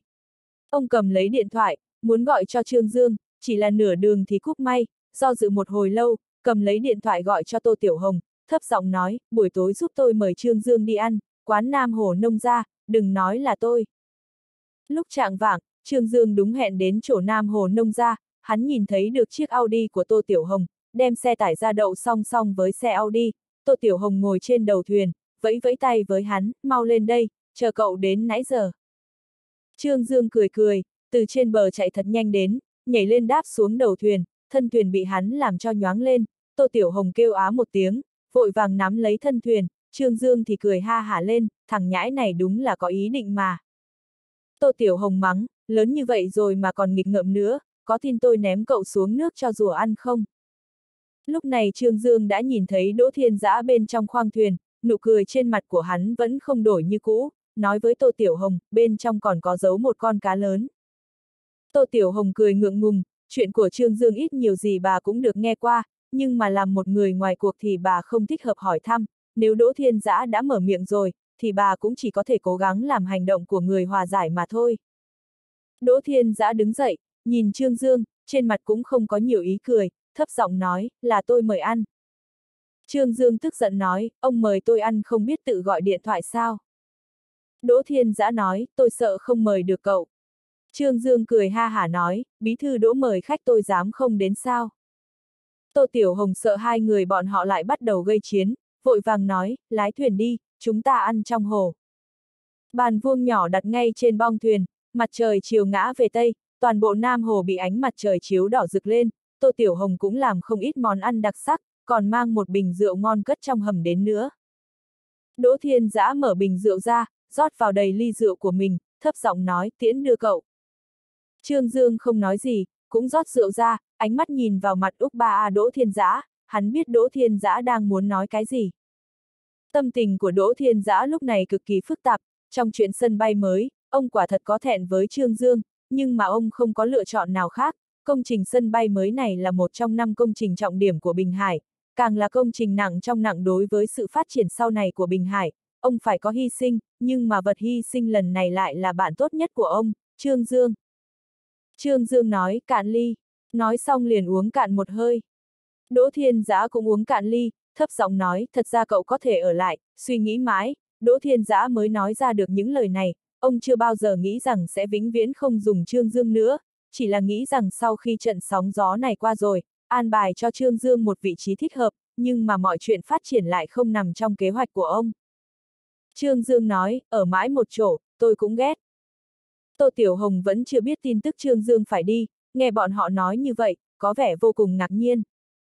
Đỗ Thiên Giã nói, người trong quan trường có đôi khi là thân bất do kỳ. Trương Dương mỉm cười nói, tôi hiểu, thật ra chuyện sân bay lần này là do tôi gieo gió gặt bão, tôi không trách ông. Đỗ Thiên Giã nói, nhưng mà ngày đó rõ ràng là cậu đang trách tôi. Trương Dương nở nụ cười, ngày đó tôi cố ý biểu hiện ra hình dạng tức giận, không có lý do mà ông đem tôi ra chịu chết, ngay cả một câu giữ lại cũng không nói, ông là lãnh đạo của tôi, không sai, nhưng mà lúc trước tôi vẫn xem ông trở thành đại ca của tôi, là bạn tốt của tôi. Mặt của Đỗ Thiên giã lộ vẻ xấu hổ, ông chân thành nói, tôi vẫn là đại ca của cậu, bạn tốt của cậu, vĩnh viễn là vậy. Trương Dương rót rượu cho Thiên giã một lần nữa, sau đó rót cho chính mình, thấp giọng nói, thật ra thì ông còn rõ ràng một đạo lý này hơn cả tôi. Đỗ Thiên giã nhìn Trương Dương, chờ hắn nói tiếp. Trương Dương nói, trong quan trường không có bạn bè. Đỗ Thiên giã nhấp một ngụm rượu, lặng lẽ suy nghĩ, thưởng thức rượu ngon, cũng như thưởng thức những lời này của Trương Dương. Trương Dương nói, lúc trước ôi cho rằng giữa bạn bè thật sự thì không nên có dính dáng nhiều đến kinh tế, chỉ là bây giờ phát hiện ra, dính dáng trên chính trị thật ra càng đáng sợ hơn cả kinh tế, lợi ích chính trị sẽ biến bạn bè thành kẻ thù, cũng có thể làm cho kẻ thù thành bạn bè. Đỗ Thiên Giã nói, công trình sân bay rất quan trọng đối với Giang Thành, tôi phải làm như vậy. Trương Dương mỉm cười nói, tôi hiểu, cho nên tôi cũng không thật sự giận ông. Chúng ta vẫn là bạn sao? Trương Dương hỏi ngược lại, ông thấy tôi không tồi chứ? Đỗ Thiên Giã sừng sốt một chút, sau đó chậm rãi lắc đầu nói, cậu không tồi. Trương Dương nâng ly lên chạm vào ly của Đỗ Thiên Giã, nói chúng ta vẫn là bạn vì câu nói của ông, ông vẫn là bạn của tôi. Đỗ Thiên Giã nói, tôi không nghĩ là cậu sẽ đi. Trương Dương nói, tôi cũng không nghĩ tới, tất cả đều đến rất đột ngột, nhưng mà bây giờ tôi đã suy nghĩ rất cẩn thận, nếu như tôi tiếp tục ở lại Giang Thành, công tác của ông sẽ không cách nào triển khai thuận lợi, giữa chúng ta sẽ còn có mâu thuẫn. Đỗ Thiên Giã nói, cậu giúp tôi rất nhiều, tôi thật sự muốn giữ cậu lại. Trương Dương lắc đầu nói, chỉ cần tôi ở lại Giang Thành, thì còn có phiền phức tìm đến tôi, sẽ còn có người đến gây áp lực cho ông, cái cảm giác trên cổ lúc nào cũng có đau này, làm cho tôi rất khó chịu, tôi đã nghĩ rất rõ, tôi phải rời khỏi Giang Thành, cho bản thân một cơ hội bắt đầu lại từ đầu. Đỗ Thiên Giã nói, thật sự không giận tôi. Trương Dương cười nói, nếu chúng ta mà đổi chỗ cho nhau, có thể tôi cũng sẽ làm ra quyết định tương tự, nói không chừng còn quá đáng hơn cả ông. Đỗ Thiên Giã cười nhạt. Tô Tiểu Hồng uống rượu với Trương Dương, rốt cục có cơ hội nói chuyện, bà nhẹ giọng nói, Trương Dương, cậu thật sự phải đi. Trương Dương gật đầu nói, Nam Tích, chủ nhiệm ủy ban thể dục Chu Đại Niên bị bệnh, thị trưởng hạ mời tôi đến hỗ trợ chương 517, trong lòng biết rõ bốn. Đỗ Thiên Giã nói, ủy ban thể dục thật ra là một nơi nghỉ ngơi lấy lại sức rất tốt. Tô Tiểu Hồng tràn ngập mất mát nói, vì sao phải đi? Bên này còn có nhiều người thân bạn bè của cậu mà. Trương Dương nói, giúp người chết sống lại, bây giờ tôi đã là một cán bộ phạm phải sai lầm, ở Giang Thành chỉ có thể đóng cửa sống qua ngày, không bằng đến Nam Thích làm ra vài chuyện cho tốt. Đỗ Thiên Giã cười nói, đến chỗ nào cũng như nha, chỉ cần ở trong thể chế thì đều bị điều lệ chế độ ràng buộc. Trương Dương nói, yên tâm đi, chuyện sân bay lần này đã làm cho tôi hiểu không ít, tôi sẽ không vấp ngã cùng một chỗ hai lần, lần này đến Nam Tích, tôi nhất định sẽ cố gắng kín đáo, có thể không trêu chọc vào phiền phức thì nhất định không chủ động đi trêu chọc phiền phức. Đỗ Thiên Giã không nói gì, Tô Tiểu Hồng thì đã không thể tin tưởng, nói có thể sao? Đỗ Thiên Giã nói, nghe nói thị trưởng hạ giúp cậu giải quyết vấn đề cấp chính sử. Trương Dương cười gật đầu nói, ông ta thật ra có nói như vậy, chỉ là bây giờ tôi đã thấy phai nhạt với chức quan rất nhiều rồi, chỉ cần có chuyện làm là được, cần gì cấp chính sử phó xử chứ, trong mắt tôi coi như cũng không có.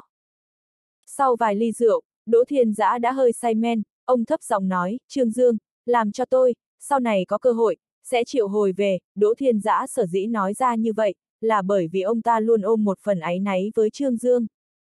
Trương Đại Quan Nhân cũng không nghĩ lâu dài như thế, ở Giang Thành lâu như vậy rồi, lần đầu tiên hắn có cảm giác muốn rời khỏi Giang Thành một cách mãnh liệt, hắn chưa trưởng thành, Đỗ Thiên Giã và Trương Dương, hai người giống như hai đứa con nít chưa trưởng thành vậy, giúp đỡ lẫn nhau, dựa dẫm lẫn nhau, chỉ là thời thế không cho phép bọn họ tiếp tục như vậy, áp lực chính trị đã làm cho Đỗ Thiên Giã phải lựa chọn hy sinh, mà Trương Dương tuy rằng cam nguyện hy sinh, nhưng mà hắn không cách nào dễ dàng tha thứ cho chuyện tiếp tục hy sinh được. Một ngày nào đó giữa bọn họ phải đối mặt với tình cảnh chia tay thôi. Trương Dương càng ngày càng phát hiện ra, quan hệ trong chính trị của mình càng lúc càng không đáng tin, trong phạm trù thể chế, bất luận là cái quan hệ gì cũng được thành lập trên cơ sở lợi ích chính trị cả. Con người vì nhu cầu chính trị khác nhau mà phát triển các loại quan hệ khác nhau, bởi vì chuyện của Tần Manh Manh, hắn đắc tội với Tần gia, chính là vì nguyên nhân này, hắn mới đối mặt với quẫn cảnh ngày hôm nay. Sự thản nhiên của Trương Dương đã làm cho Đỗ Thiên Giã cảm thấy kinh ngạc, Đỗ Thiên Giã phát hiện ra Trương Dương bỗng nhiên chính chắn hơn rất nhiều, không biết có phải là ông thấy mình lỗi thời hay không, hay là Trương Dương vì chuyện sân bay mà đã sinh ra một ngăn cách vô hình giữa hai người. Lúc 9 giờ hơn thì Trương Dương cáo từ ra về, Đỗ Thiên Giã lên xe của Tô Tiểu Hồng, ông không nói gì, trong bóng đêm lẳng lặng nhìn ánh đèn sau của chiếc xe tải ra. Tô Tiểu Hồng nhìn Đỗ Thiên Giã, trong lòng bỗng nhiên sinh ra một cảm giác thương tiếc nói không ra lời, bà vươn tay ra, cẩn thận phủ lấy mờ u bàn tay của Đỗ Thiên Giã, Đỗ Thiên Giã xoay ngược bàn tay lại, nắm lấy bàn tay của Tô Tiểu Hồng, trong lòng ông đang cô độc không gì sánh bằng, cầm lấy bàn tay mềm mại của Tô Tiểu Hồng, ông cảm thấy được một tia thoải mái, ông thấp giọng nói, anh khó chịu quá. Tô Tiểu Hồng gật đầu, bà dựa đầu lên bờ vai rộng rãi của Đỗ Thiên Giã, nhỏ giọng nói, lòng dạ của Trương Dương rất rộng lượng, sẽ không vì chuyện này mà ghi hận anh đâu. Anh biết, nhưng mà, Đỗ Thiên Giã cảm thấy trong lòng đau đớn, ông điều chỉnh lại tần suất hô hấp, anh không muốn mất đi một người bạn như vậy. Tô Tiểu Hồng nhìn vào con mắt của Đỗ Thiên Giã, ôn nhu nói, người sống trên đời, sẽ phải liên tục đối mặt với lựa chọn, vô luận là anh tình nguyện hay không tình nguyện, anh ở vào vị trí này, sẽ không thể nào hành động dựa theo tình cảm cá nhân được, anh cần phải chăm lo cho toàn bộ lợi ích của Giang Thành, đạo lý đơn giản như vậy, em cũng có thể nghĩ được, Trương Dương nhất định cũng rõ ràng. Đỗ Thiên Giã bỗng nhiên vươn tay ra ôm lấy Tô Tiểu Hồng vào lòng, tận sâu trong nội tâm của Tô Tiểu Hồng muốn chống cự, nhưng mà bà cũng không có làm ra bất kỳ động tác chống cự nào hết, bà chìm đắm trong cái ôm tràn ngập mùi vì đàn ông của Đỗ Thiên Giã, bà vẫn luôn sống rất cô độc, mà Tô Tiểu Hồng cũng giống như bà, hai người cô độc chăm chú ôm lấy nhau.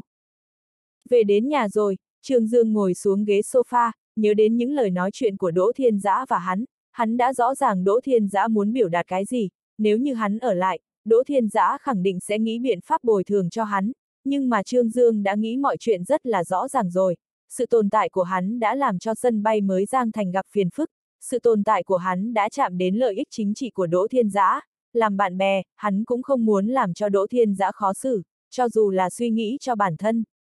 Hắn miễn cưỡng ở lại Giang Thành, thì cũng không có nhiều cơ hội phát triển, chỉ có nước rời đi mà thôi. Trương Dương đem tin tức mình quyết định đi đến Nam Tích nói cho Tần Thanh nghe, lúc này Tần Thanh vẫn chưa ngủ, nghe xong chuyện này, Tần Thanh cũng vô cùng ngạc nhiên, cô thật sự không ngờ chuyện của Trương Dương lại được giải quyết nhanh chóng như vậy. Ngay trong lúc cô đang suy nghĩ làm cách nào để giúp tình lang vượt qua cửa ải khó khăn này, điều hắn đến Lam Sơn làm việc được không, thì thị trưởng thành phố Nam Tích Hạ Bá Đạt đã nhanh chân đến trước một bước rồi. Tần Thanh cười nói, chị đã sớm nói qua rồi, là vàng thì sẽ luôn phát sáng, em tuổi còn trẻ như vậy, lại có năng lực, người khác đều nhìn thấy trong mắt, đặt em ở đó làm cán bộ không dùng, chính là một sự lãng phí tài nguyên chính trị, là tổn thất của quốc gia.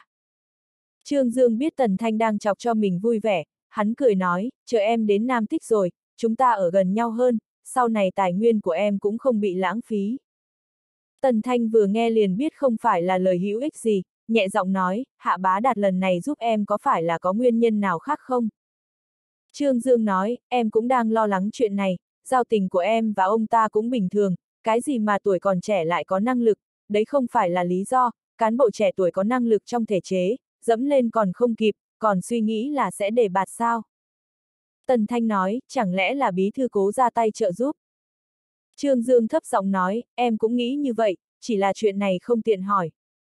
Tần Thanh cười nói, em đó, đừng có hỏi, nếu như người ta giúp em mà thật sự muốn cho em biết, thì đã nói sớm rồi, nếu không nói chứng minh rằng người ta không muốn để cho em biết, bây giờ điều em cần làm chính là điều chỉnh bản thân lại một chút, lấy trạng thái tinh thần ăn ngủ no đủ đến tiếp đón công việc mới.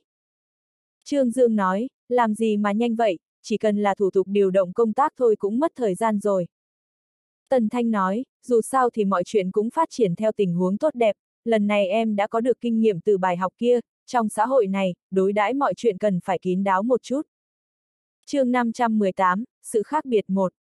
Nghe Trương Dương nói muốn đi đến Nam Tích, đám bạn bè Khương Lượng, Ngưu Văn Cường đều xoa tay chuẩn bị mời khách, chỉ là tự nhiên đúng ngay vào lúc này, Trương Dương lại mất tích, nếu người không tìm thấy thì thôi, ngay cả điện thoại cũng nằm trong trạng thái tắt máy, cái đám bạn này thay phiên nhau nhắn tin gọi lại cho hắn, mà Trương Dương cũng chẳng thèm gọi cho bất kỳ ai cả, cái này cũng không phải là do hắn làm giá, mà là hắn không muốn gọi lại. Vì lúc này Trương Dương đang ở Xuân Dương, xoa bóp hai vai của mẹ từ lập hoa.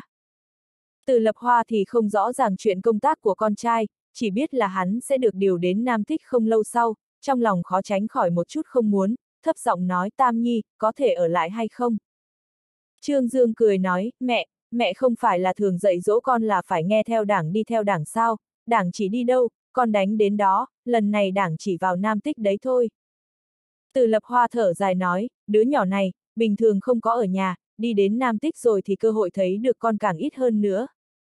Trương Dương cười nói, sao lại như thế, mẹ là mẹ của con, đi đến đâu con cũng không quên mẹ được, mà Nam Tích cũng đâu có xa, mẹ nhớ con thì gọi điện thoại một cú là con về liền. Từ lập hoa trong lòng có chút xót xa, hai mắt trở nên ẩm ướt, bà sợ con trai thấy sẽ đau lòng, vội vàng nhắm hai mắt lại, bình phục tâm tình lại một chút, nói con lớn rồi không cần lo cho mẹ nữa, chỉ cần con có tiền đồ, mẹ liền hài lòng. Trong lòng Trương Dương cũng không muốn, hắn nhẹ giọng nói, mẹ, mẹ đừng đau buồn, chờ con đến Nam Thích ổn định rồi, con sẽ đón mẹ qua, phong cảnh khí hậu của Giang Nam cũng không tồi, con mua cho mẹ một căn nhà luôn, mẹ ở đó dưỡng lão luôn. Từ lập hoa cười nói, mẹ không đi đâu cả, ở Xuân Dương lâu rồi, có tình cảm rất sâu với Xuân Dương, hơn nữa thân thể của chú Triệu con không được tốt, mẹ không đi đâu. Trương Dương nói, mẹ, dù sao thì bình thường con cũng trở về thăm mẹ, mẹ cứ yên tâm. Từ lập hoa gật đầu nói, mẹ biết con là một đứa nhỏ hiếu thuận em à, bà bỗng nhiên nghĩ đến một việc, Tam Nhi, Manh Manh và Tiểu Hoan ở đâu. Lâu như vậy rồi sao còn chưa có tin tức của bọn họ. Trương Dương nói, Manh Manh và gia đình xảy ra vấn đề, so sánh giáo dục trong nước và nước ngoài, cô ta dự định mang Tiểu Hoan ra nước ngoài để học, bây giờ bọn họ rất tốt, mẹ đừng nhớ thương, chờ thêm vài năm nữa nhất định sẽ đến thăm mẹ, Trương Dương chỉ lừa gạt mẹ mà thôi. Tần Manh Manh là nghi phạm lớn nhất trong vụ án giết chết Tần Trấn Đông, bây giờ đã bị cảnh sát phát lệnh truy nã, Trương thông qua quan hệ quốc an mà cướp xe chở tù cứu cô ta ra ngoài, vất vả lắm mới lấy lại được tự do, đương nhiên là không chui đầu vào lưới. Từ lập hoa thở dài nói, mẹ rất nhớ mấy đứa nó. Lúc Trương Dương ở nhà hưởng thụ sự yên lặng, thì Nam Tích cách xa ngàn dặm lại không được yên tĩnh, bí thư thị ủy từ Quang Nhiên chủ trì mời họp hội nghị thường ủy, đầu tiên là thông báo cho mọi người biết Phó Bí thư Trần Hạo Nguyên chủ quản công nghiệp đảm nhiệm thường vụ Phó thị trường, Bí thư quân khu vũ trang Vương Hải ba tham nhiệm Phó thị trường, tiếp nhận công tác quản lý của Trần Hạo. Và cho bọn họ một tuần để bàn giao công tác. Thị trưởng Hạ Bá Đạt lẳng lặng nghe từ Quang Nhiên nói chuyện, từ khi đi đến Nam Tích, ông làm việc tương đối cúi thấp, quan hệ của ông và bí thư từ Quang Nhiên biểu hiện ra bên ngoài thì tương đối tối, đảng và hành chính muốn ở chung hòa hợp, thì nhất định phải có một người nhượng bộ, hạ bá đạt chủ động tỏ ra là bên yếu kém, ông cũng biết từ quang nhiên biểu hiện đối với ông vô cùng lễ độ, nhưng mà thông qua thường lăng không để phân chia quyền lực và sức ảnh hưởng của ông, hạ bá đạt theo cố doãn chi nhiều năm. Đối với mấy chuyện trong quan trường cũng thấy rõ ràng, ông tạm thời không có suy nghĩ tranh giành gì với từ quang nhiên cả, lúc trước chỗ dựa lớn nhất của ông là cố doãn chi, không có sự đề bạt của cố doãn chi, thì ông không ngồi được cái vị trí này, bây giờ cố Doãn Chi đã về hưu, ông đã không còn chỗ dựa vững chắc nào hết tại Bình Hải, làm việc cúi thấp và chờ cơ hội là nguyên tắc của ông. Trong hội nghị thường ủy, ông rất ít khi biểu hiện ra sự chống đối từ quang nhiên, mà cũng ít khi phát biểu ý kiến. Chuyện đề bà Trương Dương lên làm chủ nhiệm ủy ban thể dục là lần đầu tiên ông chủ động đụng đến công tác nhân sự tại Nam Tích, Hạ Bá Đạt trước đó đã tiết lộ chuyện này với Từ Quang Nhiên, chỉ là Từ Quang Nhiên cũng không có nhắc đến tại hội nghị thường ủy, nói nửa ngày về việc nắm chắc tiến độ công trình hội trường của lễ hội vận động tỉnh, nhưng không hề nhắc gì đến chuyện của Trương Dương cả, hay là trong lòng của bí thư thị ủy Từ Quang Nhiên, chuyện một cán bộ cấp phó xử điều động cũng không đáng để lấy ra nói. Sau khi tan họp Hạ Bá Đạt tìm đến Từ Quang Nhiên, ông cười hỏi, bí thư Từ, ông xem chuyện điều động Trương Dương thế nào? Từ Quang Nhiên nhíu mày nói, Bá Đạt, chẳng lẽ anh còn không rõ ràng Trương Dương ở Giang Thành đã phạm vào sai lầm sao? Hạ Bá Đạt nói, có nghe nói, hắn là chỉ huy hiện trường xây dựng sân bay mới Giang Thành, xảy ra chuyện, hỏi trách nhiệm của hắn cũng là bình thường, nhưng mà từ tổng thể mà xem, cống hiến của hắn đối với sân bay còn lớn hơn. Từ Quang Nhiên nói, quan hệ cá nhân của tôi và Tiểu Trương cũng không tồi, lúc trước hắn còn giúp tôi trị liệu bệnh phong thấp, nhưng mà... Hạ Bá Đạt nói, bí thư từ không muốn dùng hắn. Từ Quang Nhiên thở dài nói, tôi thừa nhận, người thanh niên Tiểu Trương này có chút năng lực, nhưng mà chuyện của hắn anh cũng đã nghe nói không ít, hắn không thể khống chế được, từ quang nhiên nói đúng tình hình thực tế, ở trong thể chế của Bình Hải có mấy ai là không biết tên nhóc Trương Dương này khó hầu hạ chứ, gần đây cái chết của hứa Gia Dũng, đã làm cho lời đồn lại một lần nữa nổi lên, nói rằng tỉnh trưởng tiền nhậm hứa thường Đức cũng là chết trong tay của Trương Dương, một nhân vật như vậy ở dưới tay ai cũng làm cho lãnh đạo phải đau đầu. Hạ bá đạt đương nhiên rõ ràng Trương Dương rất khó khống chế, ông thấp giọng nói, tôi cuối cùng luôn thấy rằng, cần phải cho thanh niên một cơ hội, không thể dùng một gậy đánh chết hắn được. Từ quang nhiên nói, còn nhớ rõ chuyện của đường Hương sinh không?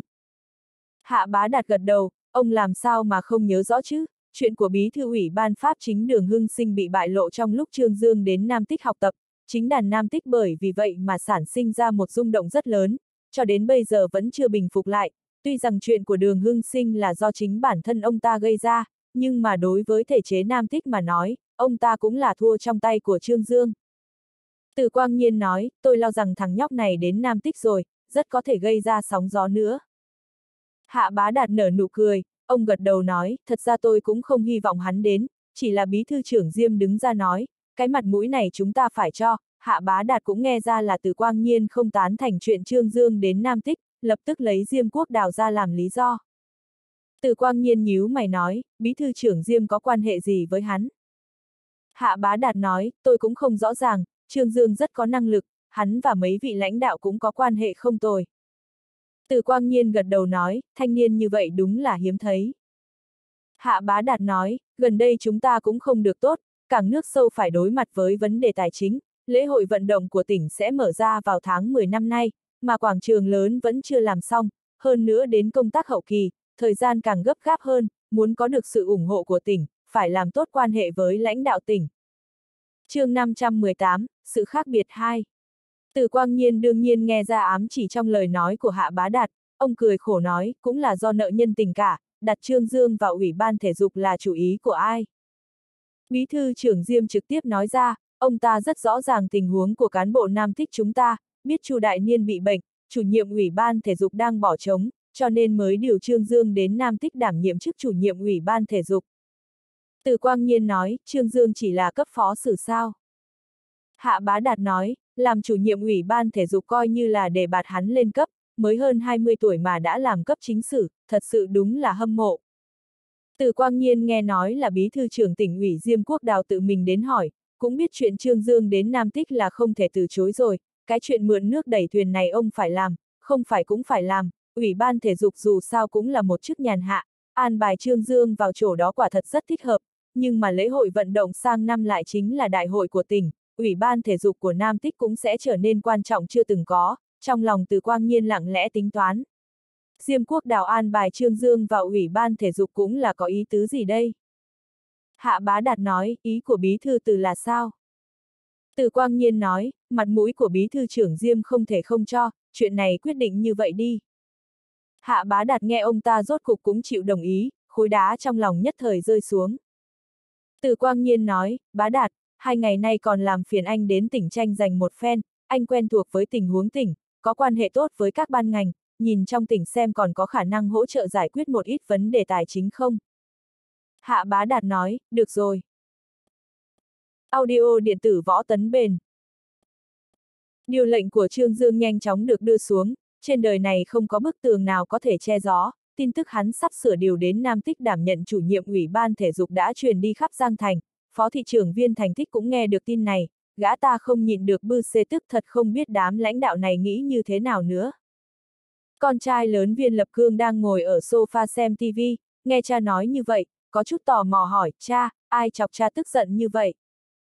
Viên thành tích nói, Trương Dương đi đến Nam Tích đảm nhiệm chủ nhiệm ủy ban thể dục, thật sự là buồn cười.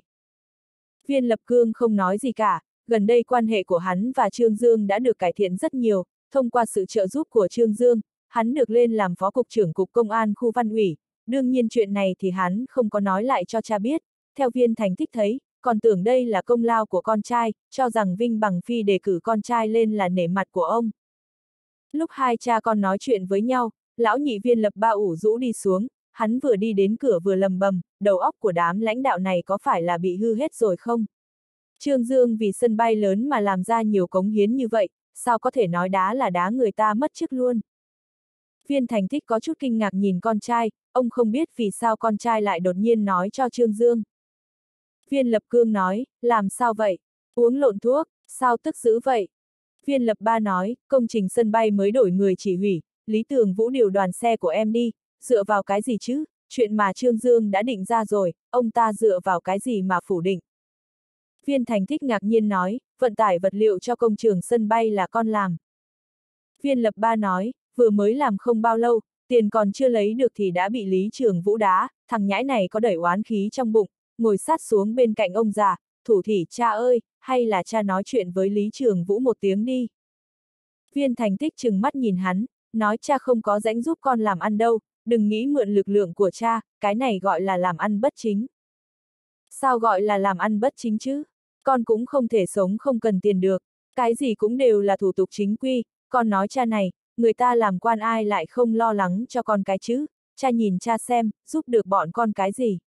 Việc làm ăn của con toàn bộ đều dựa vào bản thân dốc sức mà làm, anh của con lăn lộn ngành công an bao nhiêu năm trời mới được lên làm phó cục trưởng, không hề liên quan đến cha, đó là do Trương Dương và Khương Lượng hỗ trợ cả đấy thôi. Viên thành tích rõ ràng đã bị con trai kích thích, mặt rõ ràng trầm xuống, hắng giọng, giận dữ hét, đồ vô liêm sỉ, cút ngay ra ngoài cho tao.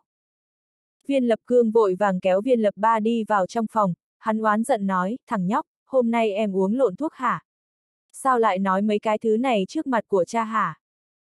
Viên lập ba thở dài nói, cái này không phải là do em gấp gáp sao? Trương Dương đi rồi, công trường sân bay mới không có tin tức, con mẹ nó, em vừa mới mua thêm một đống xe vận tải mới, trông cậy vào cái sân bay mới này để kiếm tiền. Bây giờ còn chưa được vài ngày, thì đã bị Lý Trường Vũ đá em đi rồi, nói cấp trên ra 12 hạng mục cần phỉa chỉnh đốn, tất cả đều phạm quy cả, anh nói xem, bọn họ chỉnh đốn thì của bọn họ, còn đá em ra làm cái gì? Em thành thật giúp đỡ vận chuyển vật liệu, có gì cần phải chỉnh đốn chứ? Cái này cũng khó trách viên lập ba sốt ruột, xe vận tải lớn kia đều là do hắn vay mượn đi mua, vốn tính toán xong hết rồi, hơn một năm là có thể hoàn vốn, sau đó là chờ thu lợi thôi, ai mà ngờ Trương Dương lại đột nhiên bị miễn chức giữa đường. Viên lập ba sở dĩ có thể được đi vào đấy, tất cả đều là do hắn có công đối phó với hứa Gia Dũng, Trương Dương coi như là trả cho hắn nợ nhân tình, nhưng mà thay đổi bất ngờ trên quan trường thì đúng là thật sự quá nhanh. Viên lập cương nhíu mày, hắn thấp giọng nói, hay là chuyện này đi tìm Trương Dương đi, hắn có quan hệ tốt với Lý Trường Vũ, chỉ cần hắn chịu mở miệng, Lý Trường Vũ hẳn là sẽ cho hắn mặt mũi. Viên lập ba nói, lần này thì khác, Lý Trường Vũ lúc trước có thể sẽ cho hắn mặt mũi, nhưng mà bây giờ Trương Dương đã bị Đỗ Thiên Giã miễn chức rồi, Lý Trường Vũ chưa chắc đã coi hắn ra gì đâu. Viên Lập Cương nói, em chưa nghe nói gì sao, điều lệnh của Trương Dương đã được đưa xuống, đi đến Nam Tích làm chủ nhiệm ủy ban thể dục đó. Cái gì, viên lập ba đúng là không biết thật. Viên lập Cương có chút hâm mộ nói, bên này vừa mới bị miễn chức, bên kia thì thông báo điều lệnh và thăng chức đã gửi tới, cái này đúng là nhiều mặt mũi, Trương Dương còn chưa đến 25 tuổi mà đã làm cán bộ chính sử, nhìn khắp Bình Hải chúng ta cũng không có xuất hiện qua. Viên lập ba nói, chủ nhiệm ủy ban thể dục chỉ là hư danh thôi, hình như không có quyền lợi gì. Viên lập cương nói, mặc kệ là hắn hư chức hay thực chức, chuyện trong quan trường em nhìn không thấu đâu, theo anh thấy, chức chủ nhiệm ủy ban thể dục này chỉ là một cái bậc thang thôi, không bao lâu sau, Trương Dương khẳng định sẽ nắm quyền to, con người này có năng lực không bình thường đâu, đấu với hắn vài làn, anh đã rõ ràng, người ta thật sự có bản lĩnh. chương 518, sự khác biệt ba. Viên lập ba nói, vào thời điểm này, em mở miệng cầu hắn làm việc có phải là không được tốt hay không? Viên lập cương nói, nghĩ đến số tiền mà em vay đi, ông già đã không muốn mở miệng cầu người giúp em rồi, em mà còn không mau nghĩ biện pháp, chỉ sợ không đến vài ngày nữa thì ngân hàng sẽ đến đòi nợ tới cửa. Viên lập ba gật đầu, cầm lấy điện thoại chuẩn bị gọi, chỉ là giữa đường lại đổi ý, thấp giọng nói, hay là, chúng ta mời hắn ăn cơm, nói là tiễn đưa hắn. Viên lập cương nói tốt, mời luôn bọn người Khương Lượng đến, đầu óc của viên lập cương gần đây đã rộng mở hơn rất nhiều, hắn ý thức được là chỉ dựa vào cha thôi thì không được, có vài mối quan hệ phải dựa vào sức lực bản thân, chỉ có con chim đủ lông đủ cánh không ngừng lớn mạnh, thì mới có thể rời khỏi cha mình mà bay thật cao thật xa. Trên đời này không có người nào là thật sự ngu si cả, viên lập cương đã sớm nhìn ra Trương Dương giảng hòa với hai anh em họ là có mục đích rồi, chỉ là hắn cũng không rõ ràng mục đích của Trương Dương là gì thôi, sau đó em trai phản bội hứa Gia Dũng hắn mới hiểu được, Trương Dương muốn lợi dụng em trai để đối phó hứa Gia Dũng, mà kết quả cuối cùng của hứa Gia Dũng làm cho viên lập cương cực sợ, hắn cũng không biết trong đầu của Trương Dương có suy nghĩ gì, nhưng mà hắn tin rằng hứa Gia Dũng nhất định là chết trong tay của Trương Dương. Em trai trong bất chi bất giác đã trở thành đồng lõa rồi, một người có nhiều năng lực như hứa Gia Dũng mà cũng có kết cục thê thảm như vậy, hai anh em bọn họ làm sao mà còn đấu với Trương Dương nữa. Viên Lập Cương biết cha cực kỳ phản cảm đối với Trương Dương, nhưng mà cái này cũng không gây trở ngại cho việc hắn thay đổi thái độ, theo viên Lập Cương thấy, cha đã già rồi, cuối cùng cũng sẽ bị thời đại loại bỏ, Trương Dương, Đỗ Thiên Giã, Vinh Bằng Phi, những người này mới là nhân vật chủ chốt trong thời đại mới, hắn muốn phát triển, thì nhất định gia nhập vào vòng tròn của người ta, đây chính là sự khác biệt.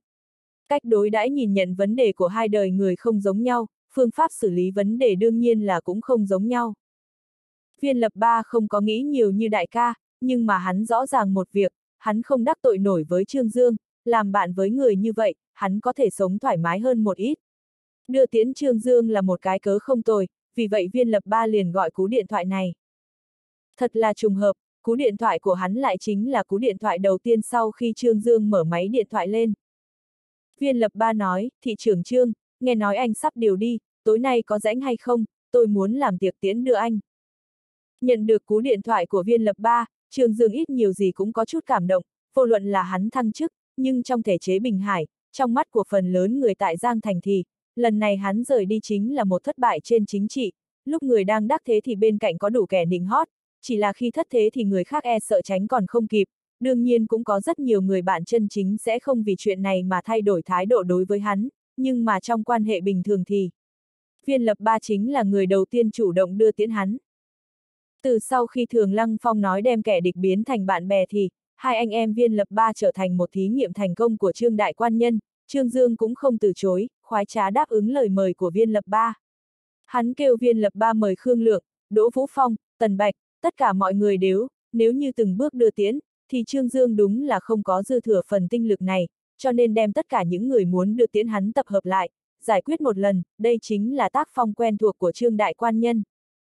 Địa điểm mời khách đặt tại Ngư Mễ Chi Hương, cái này là do Trương Dương chỉ định, hai anh em viên lập ba đã đến rất sớm, bao chọn cả thủy tinh các, nhưng làm cho bọn họ bất ngờ chính là, lần này không chỉ có đám người Khương Lượng đến, ngay cả thường ủy Giang Thành, Cục trưởng Cục Công an Vinh Bằng Phi cũng đến, Vinh Bằng Phi nghe Khương Lượng nói tối nay sẽ đưa tiến Trương Dương, cho nên cũng tạm gác lại mọi việc mà đến đây. Viên Lập Cương nhìn thấy Vinh Bằng Phi xuống xe, vội vàng chạy lại, nhiệt tình chào hỏi, Cục trưởng Vinh, ngài cũng đến. Vinh Bằng Phi cười ha hả nói, tôi không mời mà đến, cậu sẽ không chào đón tôi chứ. Viên lập cương cuống quyết nói, bình thường tôi muốn mời cục trưởng Vinh đi ăn còn không được, hoan nghênh hoan nghênh, hoan nghênh đã tới. Trương Dương lúc này đã lái xe tải đến bãi giữ xe của quán, Vinh Bằng Phi cười nói, ngày hôm nay hắn mới là nhân vật chính, những lời này của Vinh Bằng Phi là nhắc nhở viên lập cương, đừng quên chủ nhân buổi tiệc hôm nay là ai. Hắn cũng không muốn cướp đoạt danh tiếng của Trương Dương. Trương Dương cũng không ngờ lại gặp phải Vinh Bằng Phi, hắn cười cười nắm tay với Vinh Bằng Phi, Cục trưởng Vinh, anh không phải là đặc biệt đến ăn cơm chứ. Vinh Bằng Phi cười nói, tôi biết cậu không có thời gian, tôi cũng không có thời gian, nghe nói bọn họ làm tiệc đưa tiến cậu, tôi cũng đi theo góp vui, nếu cậu không chào đón, vậy bây giờ tôi đi. Trương Dương nói, có thể để cho Cục trưởng Công an đến đưa tiến tôi, tôi hài lòng còn không kịp, hôm nay cũng được, uống rượu rồi không được phép sở giọng, không được dùng quan uy áp dân nha. Viên lập cương đứng một bên nghe, trong lòng thầm than, đưa mắt ra nhìn khắp thể chế Giang Thành, dám nói chuyện với Vinh Bằng Phi như vậy quả thật chẳng có mấy người. Ngưu Văn Cường và Triệu Tân Vĩ cũng chạy đến, hai người bọn họ là do Trương Dương tự thông báo. Hai anh em viên lập cương lập tức mới mọi người vào thủy tinh các, nghe nói Trương Dương đến, quản lý Tô Cường cũng vội vã ra gặp mặt, Tô Cường nói tối nay coi như tôi mời, đưa tiến thị trưởng Trương. Viên lập ba cũng không cam tâm tình nguyện, lập tức nói, phải không, tối nay tôi làm chủ mà, đừng ai giành với tôi. Trương Dương mỉm cười nói, ai mời khách cũng không quan trọng, quan trọng là mọi người có thể ngồi cùng một chỗ vui vẻ với nhau, tôi đến Nam Tích nhậm chức, cũng không phải là một đi không trợ ề, sau này không thiếu cơ hội quấy rầy các người đâu, các người đừng ai tranh giành nữa, lần này đưa tiễn thì chúng ta cùng nhau ăn, lúc đón gió tẩy trần thì thay phiên nhau, được chưa? Cả đám người đều cười nói, được. Dưới sự kiên trì của mọi người, Trương Dương ngồi xuống vị trí chủ, Cục trưởng Công an Vinh Bằng Phi ngồi bên cạnh hắn, những người khác lần lượt ngồi xuống, viên lập ba đặt biệt mang đến hai chai rượu quý, người sáng mắt vừa nhìn liền biết đây là cống phẩm của chính phủ rồi, khẳng định là rượu mà lão gia tử của hắn dùng để chiêu đãi, cái vòng tròn này là vậy đó, vĩnh viễn là nhìn thấy mà không nói ra. Vinh Bằng Phi tuy rằng không muốn cướp danh tiếng của Trương Dương, nhưng mà sự xuất hiện của gã dù sao cũng đã làm phai mờ hào quang của Trương Dương đi một chút, chính là bởi vì sự tồn tại của gã, hơn phân nửa người không dám thả lỏng ra. Trương Dương thì khác, lúc trước hắn thế nào thì bây giờ hắn vẫn thế ấy, con người sống trên đời dù sao cũng phải có một mặt chân thật, bất luận là lúc nào cũng phải đeo mặt nạ vào, đúng thật sự là quá mệt mỏi. Vinh Bằng Phi nếu đã tới rồi, thì cũng không muốn mang mặt nạ, gã không muốn nặn ra cái bộ mặt đầy quan uy của mình, nhưng cái này là đối với Trương Dương. Trong lòng của người khác, sự xuất hiện của Vinh Bằng Phi đã tạo thành một loại áp lực vô hình không nói nên lời. Biểu hiện của hai anh em viên lập ba và viên lập cương rất là câu nệ, tuy rằng bọn họ là người đề xướng cái tiệc đưa tiễn này, bọn họ cũng muốn dung nhập vào cái vòng tròn này, vốn dĩ đã chuẩn bị đầy đủ rồi, nhưng mà sự xuất hiện của Vinh Bằng Phi đã làm cho bọn họ bất ngờ. Vinh Bằng Phi nâng ly rượu lên, cười nói, chủ đề tối nay của chúng ta chính là đưa Tây 64 n Trương Dương, tối nay tất cả mọi người phải uống thật sâu, uống ra thành ý, không say không về. Trương Dương cười nói, tôi nghe ra rồi nha, Cục trưởng Vinh đang gây xích mích quần chúng đấu quần chúng đây mà, ngàn vạn lần đừng có chơi xa luân chiến, muốn uống, chúng ta cùng nhau uống. Vinh Bằng Phi cười nói, tính cảnh giác của đồng chí Tiểu Trương càng ngày càng cao. Trương Dương thở dài nói, ngã một lần, bây giờ phải đi xa xứ, tính cảnh giác còn không cao thì chắc phải đi xung quân luôn. Vinh Bằng Phi cười ha hả, đứng lên, tất cả người ở đây mà cũng chỉ có một mình gã cười, những người khác không dám cười, luôn cảm thấy những lời nói của Trương Dương lộ ra một mùi vị bi thương không nói nên lời. Vinh Bằng Phi nói, trong thể chế nếu như một người vĩnh viễn đứng tại chỗ, chứng minh rằng người đó không có phát triển, không có phát triển có ý nghĩa là không có tiền đồ. Người chết sống lại, bây giờ thấy chuyện này to như bầu trời, một mai đi ra ngoài, quay đầu nhìn lại, thì chẳng qua chỉ là một việc nhỏ như lông gà, nhất thời mà thôi. Trương đại quan nhân liền nịnh hót, nghe anh nói chuyện một buổi, hơn hẳn 10 năm đọc sách, cục trưởng Vinh, anh đừng làm cục trưởng công an nữa, anh hẳn là nên làm bộ trưởng giáo dục, anh mới là nhà tư tưởng thời đại mới. Khương Lượng phụ họa, tôi thấy cũng đúng, mỗi câu nói của cục trưởng Vinh đều là cho người ta tỉnh ngộ, chỉ là đạo lý này chúng tôi đều hiểu, nhưng không đạt được cái cảnh giới đó. Trương Dương cười nói, nịnh nọt, tuyệt đối là nịnh nọt.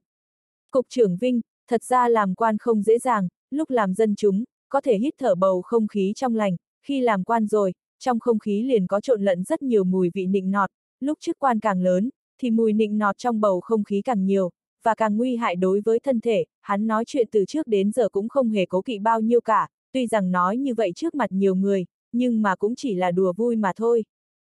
Vinh Bằng Phi gật đầu nói, cho nên, làm quan là một nghề nghiệp mang tính phiêu lưu rất cao, cả ngày bị nịnh nọt vây quanh, ngay cả hít thở không khí trong lành cũng khó khăn. Khương Lượng bị hai người kẻ hát người bè nói một hồi làm cho xấu hổ, tôi nói cục trưởng Vinh, thị trưởng Trương, không cần phải mang giày dẫm người như vậy đâu. Vinh Bằng Phi nói, không nói anh đấy thôi, thật ra không khí xung quanh anh cũng không được tươi mái, người sống trên đời này rất mệt, chỉ là chức vị càng mệt mỏi hơn. Trương Dương nói, phiêu lưu không chỗ nào không có.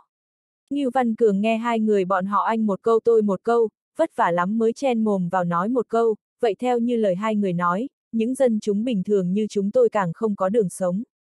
Tôi thật ra muốn hít thở không khí trong lành, trong lành hay không cũng không sao, có mùi vị nịnh nọt nhiều hay ít cũng không sao, chỉ cần có không khí, tôi sẽ không bị nghẹn chết, chỉ là không khí cũng rất đáng kể, đưa mắt ra nhìn khắp thần châu đại địa này, tất cả đều là bầu không khí có sự nịnh nọt, đều cho người làm quan các người hút đi, chúng tôi không thể không nghẹn chết được.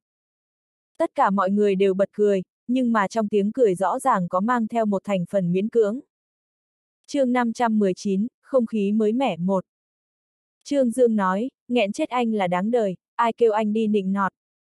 Ngưu Văn Cường nói, tôi nịnh nọt bị nghẹn chết thì tôi chấp nhận, chỉ là người ta không nịnh nọt mà bị nghẹn chết chẳng phải là oan uổng sao, cái thời đại này muốn làm một lão bách tính bình thường cũng có, muốn hít thở một ít không khí trong lành cũng là một loại hy vọng xa vời.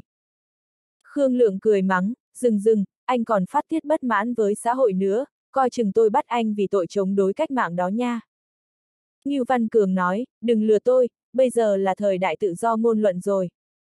Vinh Bằng Phi khẽ cười, gã nhìn Trương Dương nói, nghe nói chủ nhiệm ủy ban thể dụng Nam Tích, là cấp chính sử. Trương Dương nói, trong điều lệnh chỉ là chủ nhiệm ủy ban thể dục, còn chuyện cấp chính sử thì không có đề cập đến. Đỗ Vũ Phong nói, làm gì có chủ nhiệm ủy ban thể dục nào không phải là cấp chính sử. Chúc mừng nha. Trương Dương cười cười, Bộ trưởng Bộ Tổ chức Tử Biêu đã tiết lộ với hắn, lần này thăng cấp chính sử đã là một việc chắc chắn rồi, nói ra cũng có chút kỳ quái, lúc trước Trương Dương luôn đem cấp chính sử trở thành mục tiêu phấn đấu, nhưng mà khi cấp chính sử đặt ngay trước mắt hắn, sắp biến thành hiện thực rồi, thì Trương Đại Quan Nhân bỗng nhiên cảm thấy rằng, thật ra cũng không có gì khác nhau cả, Trương Dương nói, nói thật ra, lúc đi rồi, tôi vẫn còn chút luyến tiếc. Mọi người nghe thấy câu này không khỏi im lặng. Trương Dương nâng ly rượu lên, nói con người của tôi không thích đưa tiến, hôm nay mọi người đưa tiến là vì ngày sau gặp mặt, chúng ta ngàn vạn lần đừng quá xúc động, non xanh còn đó nước biếc chảy dài, sau này cơ hội gặp mặt của chúng ta còn nhiều, ly rượu này là cảm ơn mọi người trong lòng có tôi, xem tôi trở thành bạn, phần tình nghĩa này, tôi nhớ kỹ Trương Dương uống một ngụm hết sạch ly rượu. Vinh bằng phi khen, hay cho câu non xanh còn đó nước biếc chảy dài. Ngưu Văn Cường nói, chúng ta cùng uống, nguyện cho tình bằng hữu của chúng ta tồn tại vạn năm. Triệu Tân Vĩ cười nói, cạn. Mọi người đồng thời uống cạn ly rượu, và kế tiếp là bắt đầu kính rượu lẫn nhau, Trương Dương tuy rằng đã cho một châm dự phòng, không chơi xa luân chiến rồi, chỉ là tâm tình của mọi người rất là cao, mỗi người đều kính Trương Dương hai ly, cũng may là tử lượng của Trương Đại Quan Nhân rất khá, uống nhiều như vậy mà vẫn tỉnh táo. Vinh Bằng Phi cũng biết sự tồn tại của mình làm cho đa số mọi người cảm thấy gò bó, gã là người ra về sớm nhất, Trương Dương cũng không ép giữ, lúc tiễn ra ngoài cửa, Vinh Bằng Phi vỗ vỗ vai của Trương Dương, nói cái gì cũng không cần nói, nói ngắn gọn, lần này đến Nam Tích là một chuyện tốt, chỉ có thay đổi góc độ nhìn nhận vấn đề, thì giác ngộ chính trị của cậu mới tăng lên được. Trương Dương nói, trong lòng tôi không nỡ đâu, đến Nam Tích rồi, sẽ không tìm được một cục trưởng công an tốt như vậy bắt tôi. Vinh Bằng Phi cười nói, tên nhóc cậu đừng có lừa tôi, cục trưởng công an Nam Tích Trương Đức Phóng là bạn của cậu.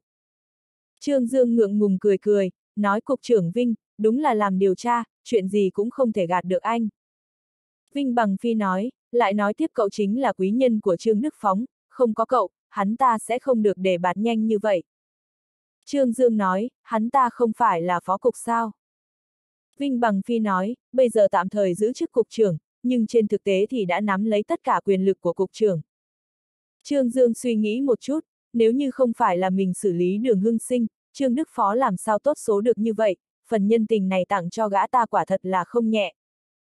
Vinh Bằng Phi đi rồi, Trương Dương xoay người trở về trong quán rượu, lúc ở sảnh gặp phải Tô Cường, Tô Cường nói, thị trưởng Trương, tôi đã dặn dò đầu bếp làm vài món thôn quê cho các người, trở về nếm thử nha.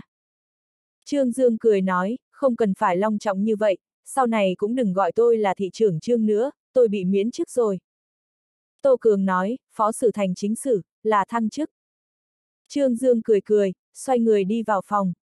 Sau khi Vinh Bằng Phi đi, đám người này rõ ràng thoải mái hơn, cả đám luân phiên kính rượu Trương Dương, ăn nói càng lúc càng lớn hơn, ngay cả hai anh em viên lập ba từ nãy đến giờ đều rụt rè, đã nói chuyện to hơn hẳn. Tuy rằng đám người này vây lấy Trương Dương, nhưng người đầu tiên ngã xuống không phải là Trương Dương, Triệu Tân Vĩ là người gục xuống bàn đầu tiên, tiếp theo sau đó là Ngưu Văn Cường, đầu lưỡi của viên lập ba cũng thẻ dài ra, có bảy phần say rượu rồi, và những chuyện trong lòng cứ thế mà ra thôi, đem chuyện Lý Trường Vũ đuổi đội xe của hắn ra khỏi công trình sân bay mới kể ra. Trương Dương không biết chuyện này, lúc trước an bài cho viên lập ba nhận thầu vận tải chính là hắn, cái này cũng là do thiếu nợ nhân tình viên lập ba, không ngờ rằng mình vừa mới đi, Lý Trường Vũ lại lập tức đuổi hắn ra ngoài, tuy rằng Trương Dương không muốn xen vào chuyện của sân bay, NSG mà chuyện của viên lập ba dù sao cũng là do một tay hắn làm ra, hắn gọi điện thoại cho Lý Trường Vũ, vì theo hắn được biết thì trong 12 hạng mục kia không có bao gồm đoàn xe của viên lập ba bên trong. Lý Trường Vũ sau khi tiếp nhận sân bay, sở dĩ đuổi viên lập ba ra ngoài, là bởi vì sợ người khác nói bậy nói bạ, bởi vì không ít người đều bắt đầu xì xào về chuyện con trai của phó thị trưởng viên nhậu thầu vận tải sân bay. Bây giờ là thời kỳ mẫn cảm, Lý Trường Vũ cũng không muốn phức tạp, thẳng thắn đá viên lập ba ra khỏi công trường. Ông không ngờ rằng Trương Dương lại vì viên lập ba là biện hộ gì, Lý Trường Vũ đáp ứng sảng khoái. Trương Dương đem kết quả này nói cho viên lập ba, viên lập ba sau khi nghe mọi chuyện đã được thu xếp, cả người kích động không chịu nổi, nắm lấy bàn tay của Trương Dương mà lắc liên tục, Trương Dương, anh đạt đến một trình độ nào đó rồi, người bạn này như anh tôi phải kết, sau này có chỗ nào cần dùng đến viên lập ba tôi, thì tôi nhất định sẽ dốc hết toàn lực. Trương Dương cười gật đầu, chuyện của viên lập ba đối với hắn mà nói chỉ là một chuyện nhỏ, thường Lăng Phong nói không sai, có những mối thù truyền kiếp căn bản là không cần phải làm sâu thêm, hóa thù thành bạn, đối với mình, đối với người khác, cũng không phải là một việc không tốt. Trương Dương nhận được điều lệnh xong ngày hôm sau liền rời khỏi Giang Thành, hắn không thích cảnh tượng tiễn biệt, đối với hắn mà nói, lần này rời khỏi Giang Thành cũng không phải là một chuyện huy hoàng gì cả. Buổi sáng xuất phát, buổi chiều cùng ngày đã đến Nam Tích, Trương Dương cũng không dừng lại trong khu vực thành phố, mà trực tiếp đi đến Cẩm Lô Na, trước khi đến đây, hắn và Tần Thanh đã hẹn gặp nhau trong thư viện Phụ Minh. Tần Thanh đứng dưới tàng cây lớn trong Cẩm Loan, lặng lặng ngắm nhìn Trương Dương chậm rãi đi tới, tuy rằng đã trải qua một cơn sóng gió chính trị, thân thể của Trương Đại Quan Nhân vẫn cao ngất ngưỡng như trước, bước chân vẫn mạnh mẽ như cũ, Tần Thanh lộ ra một nụ cười hiểu ý, sự kiên cường bất khuất của Trương Dương chính là một trong những chỗ hấp dẫn cô nhất. Trương Dương đi đến đối diện Tần Thanh, nhìn Tần Thanh, đôi mắt nhu tình đưa tình của Tần Thanh giấu trong cặp kính dâm nhìn Trương Dương, nhẹ giọng nói có mệt hay không? chương 519, không khí mới mẻ 2. Trương Dương nói, không mệt, tinh thần hưng phấn, ý chí chiến đấu sục sôi. Tần Thanh không nhịn được cười, trong thời gian ngắn, bóng đêm đã lặng lẽ bao phủ lấy cẩm loan, Tần Thanh vươn tay, ôm lấy cánh tay của Trương Dương, khí trời cuối thu rất lạnh, không khí tại cẩm loan lại ẩm ướt, loại không khí như vậy đã nhanh chóng xua đuổi du khách đi, tiếng náo nhiệt ẩm ý ban ngày của cẩm loan bỗng nhiên đã trở nên thanh tĩnh hơn rất nhiều. Cũng là cái quán ăn đó, hai người vẫn ngồi dọc theo sông, nước sông theo sắc trời mà biến thành màu xanh đậm, cây ô cựu, hồng phong, trong bóng đêm giống như là ánh lửa bập bềnh vậy, tăng thêm vài phần tình cảm lãng mạn cho một buổi tối cuối thu. Vài món ăn nhẹ, một phần canh, Tần Thanh rót đầy ly rượu bằng sứ từ đời nhà Thanh cho Trương Dương, nhẹ giọng nói, biết em đến Nam Tích, người hài lòng nhất chính là chị. Trương Dương nở nụ cười, lộ ra hàm răng trắng noãn và chỉnh tề, hắn nâng ly rượu lên, nói, nếu như em đến Lam Sơn, vậy chị có hài lòng hơn không? Tần Thanh không nói gì, lấy kính dâm xuống, đôi mắt long lanh sóng nước thâm tình nhìn Trương Dương, em không ở bên chị, chị nhớ em, em ở bên cạnh chị, chị vẫn nhớ em. Trương đại quan nhân bị những lời nói đầy tình nghĩa của phó thị trưởng Tần làm cho rung động trong lòng, hai chân kẹp lấy một bàn chân của Tần Thanh, lặng lẽ xoa dịu. Tần Thanh nói, tâm tình tốt hơn chưa? Trương Dương cười cười, ở trong thể chế, gặp phải một chút trở ngại là điều khó tránh khỏi, chẳng qua chỉ là chuyện nhỏ, đừng mơ đánh bại được em. Tần Thanh nhấp một ngụm rượu, nhẹ giọng nói, 12 chỗ cần cải cách và chỉnh đốn của sân bay mới Giang Thành chị cũng có biết, hẳn là quân đội trực thuộc tỉnh trực tiếp ra lệnh, cái thông báo về 12 chỗ cần chỉnh đốn kia chẳng có tính thật chất nào cả, dụng ý thật sự của bọn họ chính là muốn tạo áp lực cho lãnh đạo Giang Thành, cuối cùng là hướng về em Tần Thanh đã nhìn rất rõ vấn đề này. Trương Dương cười nói, trước khi em đến Nam Tích, sân bay mới Giang Thành đã hoạt động lại, em đắc tội người ta, chính bởi vì sự tồn tại của em làm phiền đến hạng mục sân bay mới, em đi rồi, mọi chuyện đương nhiên được giải quyết dễ dàng, hắn uống một ly rượu, trong lời nói mang theo một ít trào phúng. Tần Thanh nói, vô luận là ai ra tay trong chuyện này, thì cách làm của người đó cũng có vấn đề, cho dù là có ân oán riêng với em, cũng không nên dùng quyền lực quốc gia để uy hiếp, đây là một hành vi quan báo tư thù. Trương Dương nói, nhất định là tần gia. Tần Thanh cũng có nghe nói về ân oán của Trương Dương và Tần Hồng Giang, nhưng mà chi tiết cụ thể thì cô không rõ ràng, cho đến nay cũng không có hỏi qua, theo cô thấy mỗi người đều có quyền giữ bí mật cho riêng mình, cho dù là thân quen như bọn họ. Tần Thanh lại nói, rời khỏi Giang Thành, có phải là có ý nghĩa rằng chuyện này đã chấm dứt rồi không? Trương Dương cầm ly rượu lên vừa thưởng thức rượu vừa nói, em vốn tưởng rằng lần này sẽ nhàn rỗi một thời gian dài, nhưng không ngờ rằng thị trưởng hạ lại gọi điện thoại đến nhanh như vậy. Tần Thanh hỏi, thị trưởng hạ dám dùng em, có phải là bởi vì bí thư cố lên tiếng không? Trương Dương lắc đầu nói, không rõ ràng lắm, nhưng mà chuyện này cũng rất có thể. Em không hỏi qua. Trương Dương nói, Giai Đồng không hề hiểu biết gì về chuyện này, em cũng không tiện kêu chị ấy đi hỏi bí thư cố, phong cách đối đãi của ông ấy luôn là như vậy, nhiều lần biểu thị rằng đã lui ra rồi không còn can thiệp vào chuyện của chính trị nữa, nếu như thật sự là ông ta, thì ông cũng không thừa nhận. Tần Thanh nói, Hạ Bá Đạt từ khi đến Nam Tích vẫn luôn có biểu hiện cúi thấp, có thể nói là thường vụ phó thị trưởng Thường Lăng không còn có tiếng nói và quyền lực hơn ông ta, lần này vì chuyện của em nhất định là đã gặp phải không ít áp lực.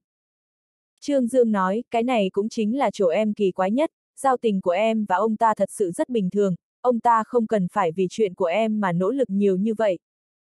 Tần Thanh nói, mặc kệ đi, quan trọng là em không sao cả. Trương Dương nói, Lam Sơn và Nam Thích là thành phố anh em, thị trưởng Tần có ý kiến gì với tôi không?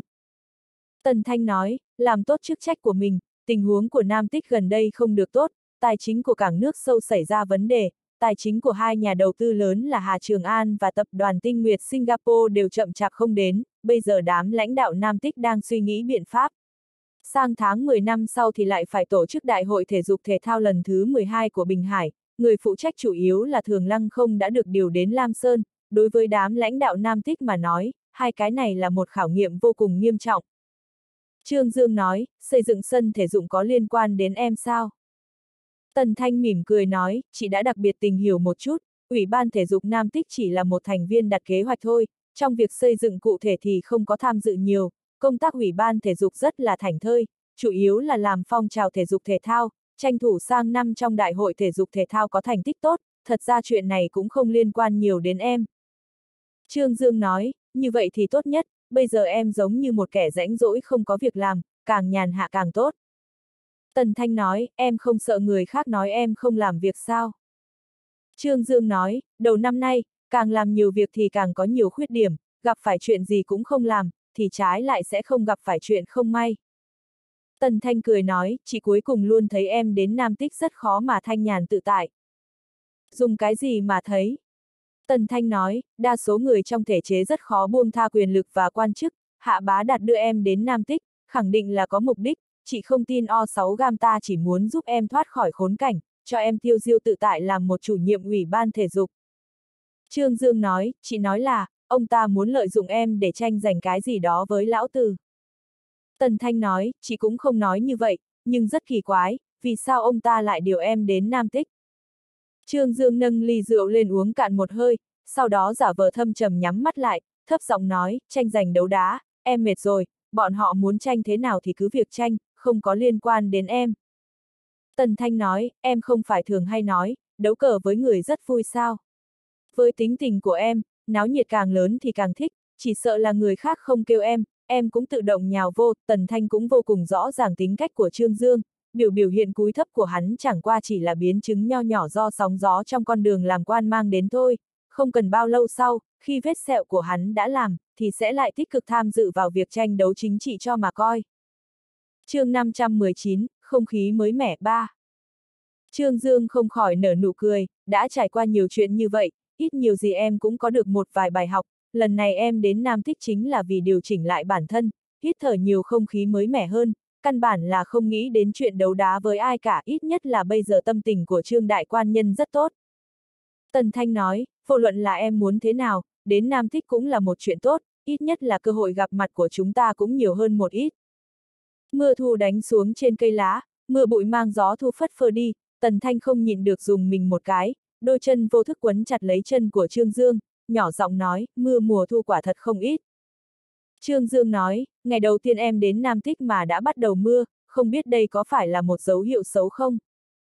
Tần Thanh dịu dàng cười nói, sao lại bắt đầu mê tín rồi, chị nhớ kỹ lúc trước em đâu phải là cái dạng này. Trương Dương nâng ly rượu lên uống cạn, đứng dậy vén màn, cùng Tần Thanh chậm rãi đi dọc theo bờ sông về phía trước, Tần Thanh đã mua một cây dù hình hoa tại cửa hàng bách hóa trong quán, giao cho Trương Dương, sau khi mở ra che khuất được bầu trời trên đỉnh đầu của bọn họ, trong khoảng không gian có hạn này, Tần Thanh dựa hẳn vào trong lòng của Trương Dương, cảm thụ sự ấm áp trong lòng hắn, hai người di dọc theo con sông, dòng chơi khắp cẩm loan dưới mưa. Trương Dương vừa đi vừa nói về ân oán của hắn và cả nhà Tần Hồng Giang, nói về sân bay mới, nói về hứa Gia Dũng, vô luật là ai, chỉ cần có gì với hắn đều sẽ là đối tượng để hắn nói. Tần Thanh kéo cánh tay của hắn, hiểu biết của cô về Trương Dương càng ngày càng nhiều, nhưng mà từ đầu đến cuối Tần Thanh vẫn không rõ một việc, cô nhẹ giọng nói, cho đến bây giờ chị vẫn chưa rõ, vì sao em lại muốn chọn con đường làm quan. Trương Dương nhìn ngọn đèn mông lung trong mơ, thấp giọng nói, đấu cờ với người ta vô cùng vui, em muốn hưởng thụ cái quá trình đó, hắn quay mặt lại, khẽ hôn lên môi của Tần Thanh một cái, nói, nếu như không lựa chọn con đường này, em làm sao có thể gặp được người tốt như chị. Sáng ngày hôm sau, Trương Dương chia tay với Tần Thanh xong, trực tiếp đi đến bộ tổ chức Nam Thích để báo danh, Bộ trưởng Bộ Tổ chức Thị ủy Nam Thích Hà Anh Bồi năm nay 52 tuổi, tóc nghiêng rất dài, dùng lược trải vuốt ngược mái tóc lên trên đỉnh đầu, thoạt nhìn trên đầu giống như có một cái bánh nướng vậy. Người này có chút hục ịch, thoạt nhìn là quan uy không đủ, nhưng thật ra lại có vẻ buồn cười, nghe nói Trương Dương, ông ta liền lấy kính lão theo thói quen đeo lên, nhìn người thanh niên trước mắt này. Tuy rằng đã sớm nghe nói đến đại danh của Trương Dương, nhưng có thể gặp mặt lại là lần đầu tiên. Trương Dương cười rất thân mật, rất khiêm tốn, lấy ra tiêu chuẩn của thuộc hạ đi bái kiến với lãnh đạo vậy, xin chào Bộ trưởng Hà, tôi là Trương Dương, ngày hôm nay đến báo danh với ông. Hạ Anh bồi gật đầu, trên mặt cũng lộ ra nụ cười, Trương Dương, ha ha, nghe nói cậu trẻ tuổi lắm, không ngờ còn trẻ hơn cả trong tưởng tượng của tôi. Trương Dương cũng cười theo, Hạ Anh bồi bắt tay với hắn, chỉ về ghế sofa, nói, ngồi đi. Trương Dương giặt một số giấy tờ thủ tục lên trên bàn làm việc, Hạ Anh Bồi cười nói, không vội, cậu đến là tốt rồi, thủ tục có thể chậm rãi làm, ông ta kêu thư ký Tiểu Lưu mang giấy tờ của Trương Dương đi làm, rồi nói với Trương Dương, Tiểu Trương à, tôi nghĩ rằng qua vài ngày nữa cậu mới đến, sao lại không nhân cơ hội này nghỉ ngơi thêm vài ngày chứ? Trương Dương nói, con người của tôi không chịu ngồi yên, muốn đến sớm một chút, công tác của Ủy ban thể dục lúc trước tôi chưa từng làm quan, không có kinh nghiệm, muốn đến sớm để thích ứng một chút, cũng mau chóng triển khai công tác. Hạ Anh Bồi gật đầu cười nói, người thanh niên đúng là có lòng nhiệt tình. Thư ký Tiểu Lưu mang hai ly trà vào, Hạ Anh Bồi nói, cậu đi xem Dương Dĩnh có mặt hay không. Kêu cô ta dẫn Tiểu Trương đến ủy ban thể dục một chuyến. Tiểu Lưu nói, Phó Bộ trưởng Dương đến tỉnh Hải họp rồi, buổi chiều nay mới có thể trở về. Hạ Anh Bồi à lên một tiếng, nói, như vậy à, một lát nữa tôi còn phải họp, cậu xem. Trương Dương cười nói, không sao cả, tôi tự mình đi qua cũng được. Hạ Anh Bồi nói, như vậy đi, để tôi cùng đi với cậu, cậu ở chỗ này chờ tôi, 11 giờ tôi về, rồi cùng cậu đi đến ủy ban thể dục. Trương Dương nói, cảm ơn Bộ trưởng Hà, hắn vốn muốn nói lời xin miễn, nhưng mà nghĩ lại mình vừa đến Nam Tích, nếu như không có một quan viên nào của bộ tổ chức cùng đi, thì rất có thể sẽ bị đám người trong ủy ban thể dục coi thường. Hắn không phải là muốn có một cuộc ra mắt long trọng, nhưng ít nhất cũng phải làm cho người ta không coi thường hắn, nếu như Bộ trưởng Bộ Tổ chức Hạ Anh Bồi có thể tự mình cùng đi với hắn thì hay quá rồi. Chỉ là bây giờ vừa đi làm, từ đây đến 11 giờ còn đến 2 tiếng, hắn cũng không có khả năng thành thật ngồi một chỗ tại Bộ Tổ chức được. Hắn cười nói, Bộ trưởng Hà, ông cứ bận việc trước đi, tôi đi ra ngoài thu xếp một số việc, chờ 11 giờ tôi đến gặp mặt ông. Hạ Anh Bồi gật đầu, như vậy cũng tốt, 11 giờ cậu nhất định phải có mặt đó. Trương Dương rời khỏi bộ tổ chức, lần này hắn đến đây là do Hạ Bá Đạt mời hắn, về tình về lý đều phải đi gặp mặt nói chuyện với Hạ Bá Đạt một tiếng. Vì vậy sau khi gọi điện thoại cho Hạ Bá Đạt xong, đúng lúc Hạ Bá Đạt còn trong văn phòng làm việc, nghe nói Trương Dương đã đến tòa nhà thị chính rồi, liền kêu hắn qua gặp mặt luôn. Trương Dương đi đến phòng làm việc của Hạ Bá Đạt, thư ký của Hạ Bá Đạt Phạm Thành Thái ngoài bên ngoài cửa chờ, thấy Trương Dương đến, Phạm Thành Thái liền cười chào đón, chủ nhiệm Trương sao, thị trưởng Hạ đang chờ anh ở bên trong. Trong lòng Trương Dương cảm thấy một ít ấm áp, Hạ Bá Đạt vẫn còn có chút tình nghĩa, không chỉ ra tay trợ giúp lúc mình gặp khó khăn, mà khi biết mình đến còn kêu thư ký ra cửa ngồi chờ, từ biểu hiện này mà xem, thì vô cùng có thành ý đối với mình. Thật ra cái mà Hạ Bá Đạt am hiểu nhất chính là phỏng đoán lòng người, ông ta là một người chú trọng chi tiết, biết người ta trong lúc thất thế, một số chi tiết lơ đãng thôi cũng dễ dàng gây cảm động rồi. Trương Dương đi vào trong phòng làm việc, Hạ Bá Đạt liền cười đón, chủ động vươn tay ra, nhiệt tình nói, Trương Dương, ha ha, cuối cùng tôi cũng đã kéo cậu đến được, Hạ Bá Đạt biểu hiện rất nhiệt tình, làm cho Trương Đại Quan Nhân có cảm giác như đông qua xuân đến, hắn vươn tay ra dùng sức nắm lấy tay của Hạ Bá Đạt, mỉm cười nói thị trưởng Hạ, chuyện lần này làm phiền ông quá. Hạ Bá Đạt cười nói, nói cái gì vậy, cậu là một cán bộ trẻ tuổi đầy hứa hẹn, chính là những người mà Nam Tích chúng tôi đang cần, mau ngồi đi. chương 519, không khí mới mẻ 4. Thư ký Phạm Thành Thái mang hai ly trà lên, loại ánh mắt này của một thư ký thì nói thế nào cũng phải có, thấy Hạ Bá Đạt nhiệt tình với Trương Dương như vậy, thư ký đương nhiên cũng phải xem trọng vị chủ nhiệm ủy ban thể dục mới tới này. Lúc đặt hai ly trà xuống, Phạm Thành Thái mỉm cười với Hạ Bá Đạt, rồi lặng lẽ lui ra ngoài. Hạ Bá Đạt nâng trà lên uống một ngụm, nói, đến khi nào thế? Trương Dương nói, ngày hôm qua, bởi vì muốn quá cho nên không đến chào hỏi ông được, tùy tiện tìm một khách sạn ngủ một giấc, sáng ngày hôm nay liền đến báo danh. Hạ Bá Đạt gật đầu nói tốt, nhiệt tình công tác rất đáng để khen, Trương Dương à, lần này lãnh đạo Nam Tích chúng tôi ôm rất nhiều kỳ vọng với cậu, mong rằng cậu có thể khởi động công tác thiết thực của Ủy ban Thể dục, có thể lãnh đạo giám sát hệ thống thể dục làm tốt công tác, dẫn dắt công tác thể dục các cấp, trong Đại hội Thể dục Thể thao của tỉnh sang năm giành được thành tích ưu tú. Làm chủ nhà, mục tiêu của Nam Tích chúng ta chính là số huy chương phải tiến vào hàng ba. nói đến đây, ông bật cười một tiếng. Nói, kinh tế Nam Tích của chúng ta mặc dù đứng đầu trong Bình Hải nhưng mà thể dục thì luôn thua kém, mong rằng sau khi cậu đến rồi thì có thể cải thiện được diện mạo của ngành thể dục Nam Tích. Trương Dương khiêm tốn biểu thị, thị trưởng hạ, tôi sẽ hết sức. Hạ bá đạt nói, tôi tin tưởng cậu. Trương Dương tới gặp hạ bá đạt một là vì tỏ lòng biết ơn, còn có một việc nữa, chính là trong lòng hắn luôn tồn tại một vấn đề, hạ bá đạt vì sao lại trợ giúp cho mình.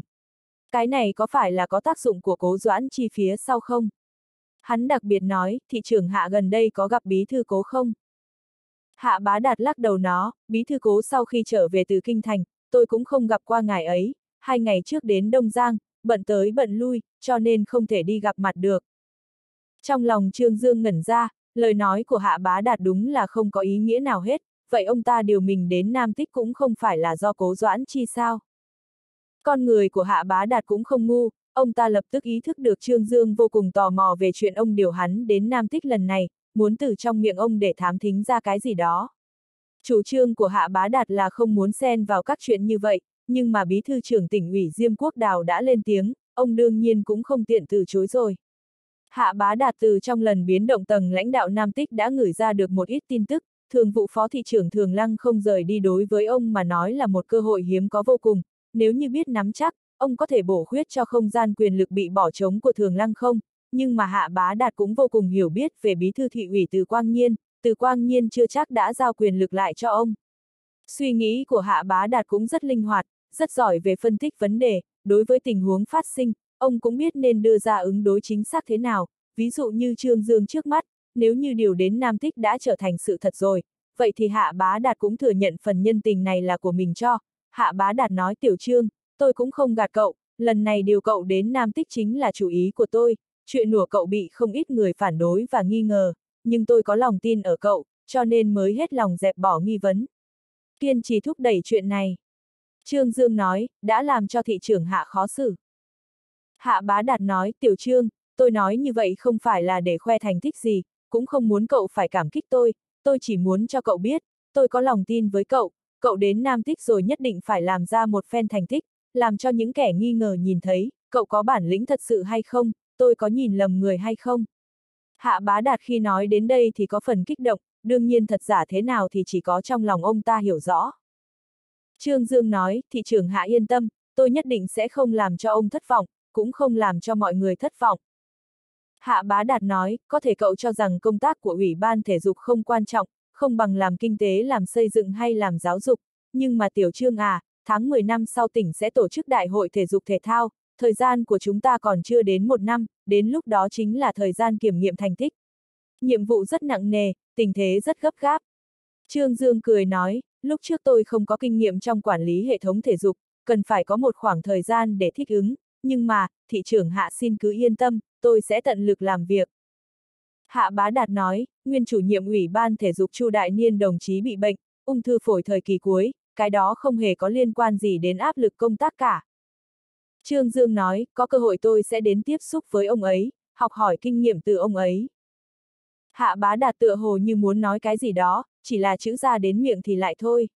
Ông nâng ly trà lên uống một ngụm, hít sâu một hơi, nói, năm nay tình thế mà Nam Tích phải đối mặt rất nghiêm trọng, tài chính của công trình cảng nước sâu xảy ra vấn đề, tài chính của hai nhà đầu tư lớn không thể đến đúng chỗ, thành phố rất đây đang rất sầu về việc này. Trương Dương cũng không nói tiếp, trước khi hắn đến Nam Tích đã đặt quyết tâm, chuyện không liên quan đến mình thì mình sẽ không quan tâm, lần này vô luận thế nào thì cũng không thể nào vi phạm được, vừa đến Nam Tích tất cả cần phải cúi thấp mà làm việc, thật ra thì hai nhà đầu tư lớn của cảng nước sâu này đều có quan hệ sâu xa với hắn, một người là Hà Trường An, một người là Phạm Tư Kỳ, người trước là cha ruột của Tần Manh Manh, mình cứu Tần Manh Manh, chỉ cần cái phần nhân tình này thôi thì Hà Trường An cũng khó mà trả lại được. Người sau là Phạm Tư Kỳ, mình trợ giúp cô ta thoát khỏi ma chảo của hứa Gia Dũng. Chỉ là Trương Dương không thích hợp để hỏi đến chuyện của cảng nước sâu, vết thương do sân bay mới gây ra cho hắn vẫn chưa lành, vết sẹo vẫn còn đang liền ra, làm sao mà có thể quên đi đau đớn được. Hạ Bá Đạt nói, lúc cậu ở Giang Thành là một tay hảo thủ về chiêu thương dẫn tư, nếu có biện pháp, nhất định phải ra sức trợ giúp cho Nam Tích. Trương Dương gật đầu nói, nhất định, nhưng mà chút năng lực của tôi tất cả đều đã trộn lẫn trong sân bay mới của Giang Thành rồi, không ai có nhiều tiền để đồng thời đầu tư cho hai hạng mục lớn cả, lời nói của hắn quả thật cũng có đạo lý. Hạ Bá Đạt cũng không tiếp tục nói nữa, ông ta nói cấp chính sử của cậu đã được báo lên rồi, không lâu sau sẽ được phê xuống, chúc mừng nha, cán bộ cấp chính sử trẻ tuổi, là người đầu tiên trong Bình Hải chúng ta. Trương Dương nói, cảm ơn tổ chức đã tin tưởng, cảm ơn thị trưởng Hạ Tài Bồi.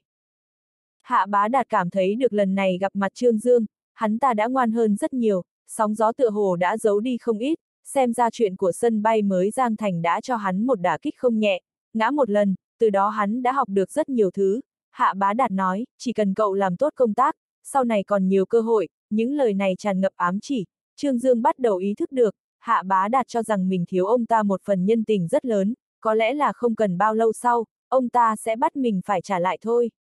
Quan trường vốn là thực tế như vậy đó.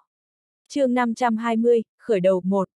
Trương Dương đến bộ tổ chức sớm 5 phút đồng hồ, chỉ là ngồi đợi đến 11 giờ 20, bộ trưởng bộ tổ chức Hà Anh Bồi mới chậm rãi đờ vào, thấy Trương Dương, ông mới nhớ ra là đã đáp ứng muốn cùng đi với hắn đến ủy ban thể dục, cười áy náy nói cậu xem trí nhớ của tôi kìa, quên mất chuyện này luôn rồi, xin lỗi, thật sự xin lỗi, ông ta nói như vậy, làm cho Trương Dương không thể nào nói ngược lại, phải biết rằng người ta dù sao cũng là bộ trưởng bộ tổ chức, còn hắn tuy rằng chuyện cấp chính sử đã được định. Nhưng dù sao cũng chưa chứng thực, xem ra con người của Hạ Anh Bồi cũng không hề có vẻ kiêu ngạo. Trương Dương nói, không sao cả, hay là buổi chiều chúng ta đi qua. Hạ Anh Bồi nói, kịp mà, 12 giờ mới tan tầm, ủy ban thể dục cách cũng không xa, đi bộ chừng 15 phút là tới. Tiểu Lưu, cậu chuẩn bị xe đi. Trong lòng Trương Dương nói, chờ ông chuẩn bị xe xong, chỉ sợ là đến giờ tan tầm luôn rồi, hắn liền cười nói, hay là ngồi xe của tôi đi, tôi lái xe đến cũng được. Hạ Anh Bồi gật đầu nói, cũng tốt, tiết kiệm thời gian, tiểu lưu, đi theo chúng tôi, cùng nhau qua. Vì thế Bộ trưởng Bộ Tổ chức Hạ Anh Bồi mang theo thư ký tiểu lưu lên trên xe tải ra của Trương Dương, Bộ trưởng vừa ngồi vào liền phát hiện ra cách phối trí của chiếc xe này rất cao, liền tấm tắc khen, nhìn không ra, bên trong chiếc xe lại tốt như vậy, còn hơn cả xe xa hoa nữa. Trương Dương cười nói, một người bạn làm giúp tôi, cũng không tốn nhiều tiền, những lời này đúng là có ý tứ giấu đầu lòi đuôi mà.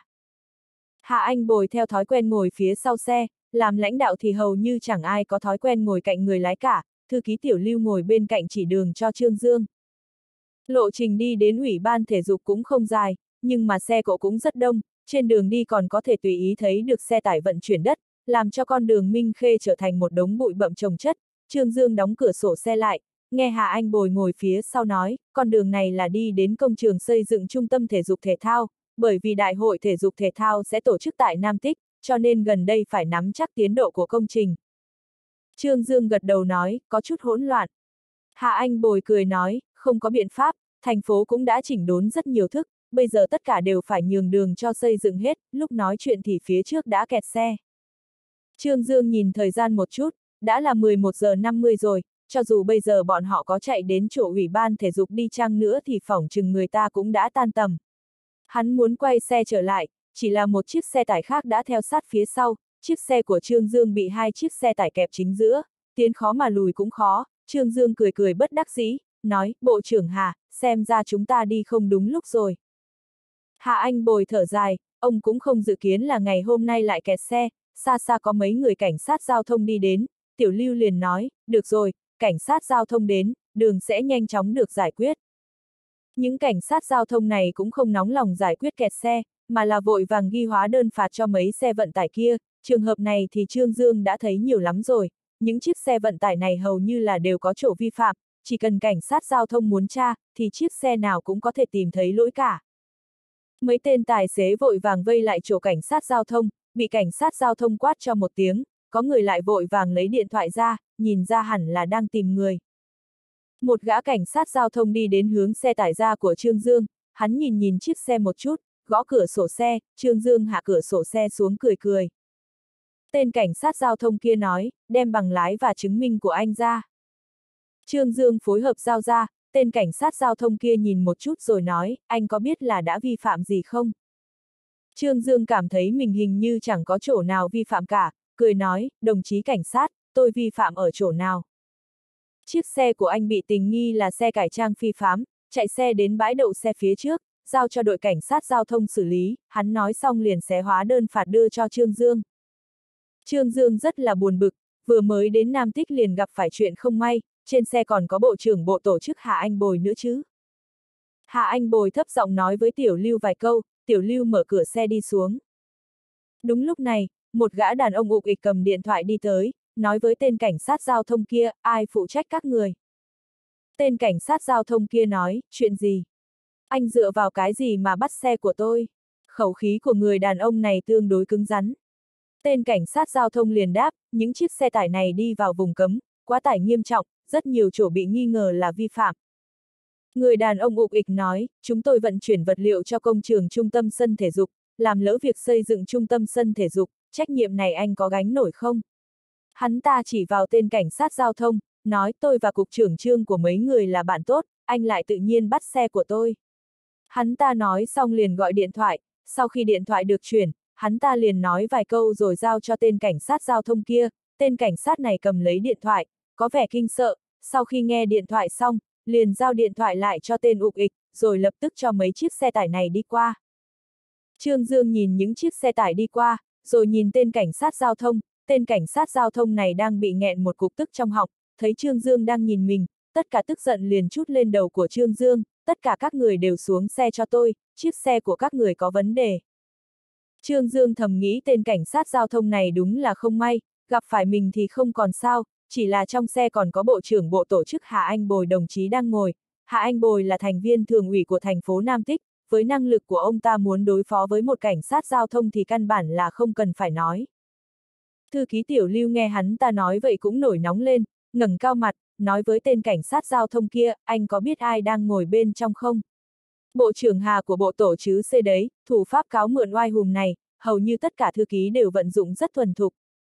Tên cảnh sát giao thông kia lúc này mới biết người ngồi trong xe chính là bộ trưởng Hà của bộ tổ chức thành phố Nam Tích, cái này thì hay rồi, trên trán hắn lập tức chảy ra một đống mồ hôi lạnh, hắn hận không thể tát vào mồm của mình hai cái, nghĩ như thế nào mà lại tự nhiên đi tra chiếc xe này.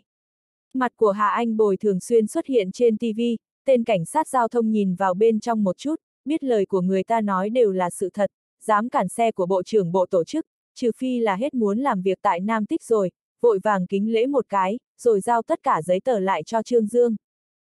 Trương Dương cười cười, hắn cũng không tính toán gì với đám tôm tép này cả, nếu như hắn muốn tính, thì cho dù không cần Hà Anh bồi, chỉ một cú điện thoại thôi thì Trương Đức Phóng cũng vui vẻ chạy đến, đối với Trương Đức Phóng, Trương Dương vẫn có đủ lòng tin. Thân phận trong thời đại này cũng là một loại giấy thông hành, thân phận càng cao thì phạm vi thông hành càng lớn, cảnh sát giao thông không chỉ trả lại giấy tờ cho Trương Dương, mà còn chỉ huy những xe khác nhường đường cho xe của Trương Dương. chương 520, khởi đầu 2. Hạ Anh Bồi cũng không có biểu thị gì, nhắm hai mắt lại, yên lặng dưỡng thần. Trương Dương lái xe đến Ủy ban Thể dục đã là 12 giờ 10 phút rồi, hoàn cảnh của Ủy ban Thể dục cũng không tồi, cây xây vần quanh trong một tòa nhà cổ kính, đây chính là chỗ làm việc của bọn họ, phía sau còn có cửa trực tiếp dẫn đến sân thể dục cũ nữa. Trương Dương thấy đã qua giờ tan tầm rồi, liền cười nói với Hạ Anh Bồi, Bộ trưởng Hà, hay là chúng ta đi đến gần đây ăn cơm nha. Hạ Anh Bồi mở mắt ra, cười nói, đi nhà khách ăn đi, mấy cán bộ của Ủy ban Thể dục đang ở đó chờ. Trương Dương mới biết được là Hạ Anh Bồi đã sớm nói chuyện rồi. Nhà khách của Ủy ban Thể dục đi từ cửa phía tây của khu nhà này ra ngoài, Trương Dương phát hiện ra chỗ này được xây dựng không tồi, tuy rằng đã là trời thu, nhưng mà bóng cây trải dài, cầu nhỏ nước chảy, tùy ý là có thể thấy được cảnh trí, nếu như không biết nơi này là Ủy ban Thể dục, sẽ nghĩ lầm là đi đến Giang Nam Lâm Viên. Nhà khách của Ủy ban Thể dục tổng cộng là do một căn nhà cao 4 tầng cấu thành, xây dựng từ những năm của thập niên 70, ngói xanh tường hồng, trên tường còn có ba da hổ đã khô vàng, đặc biệt quấn quanh những vân da cũ kỹ.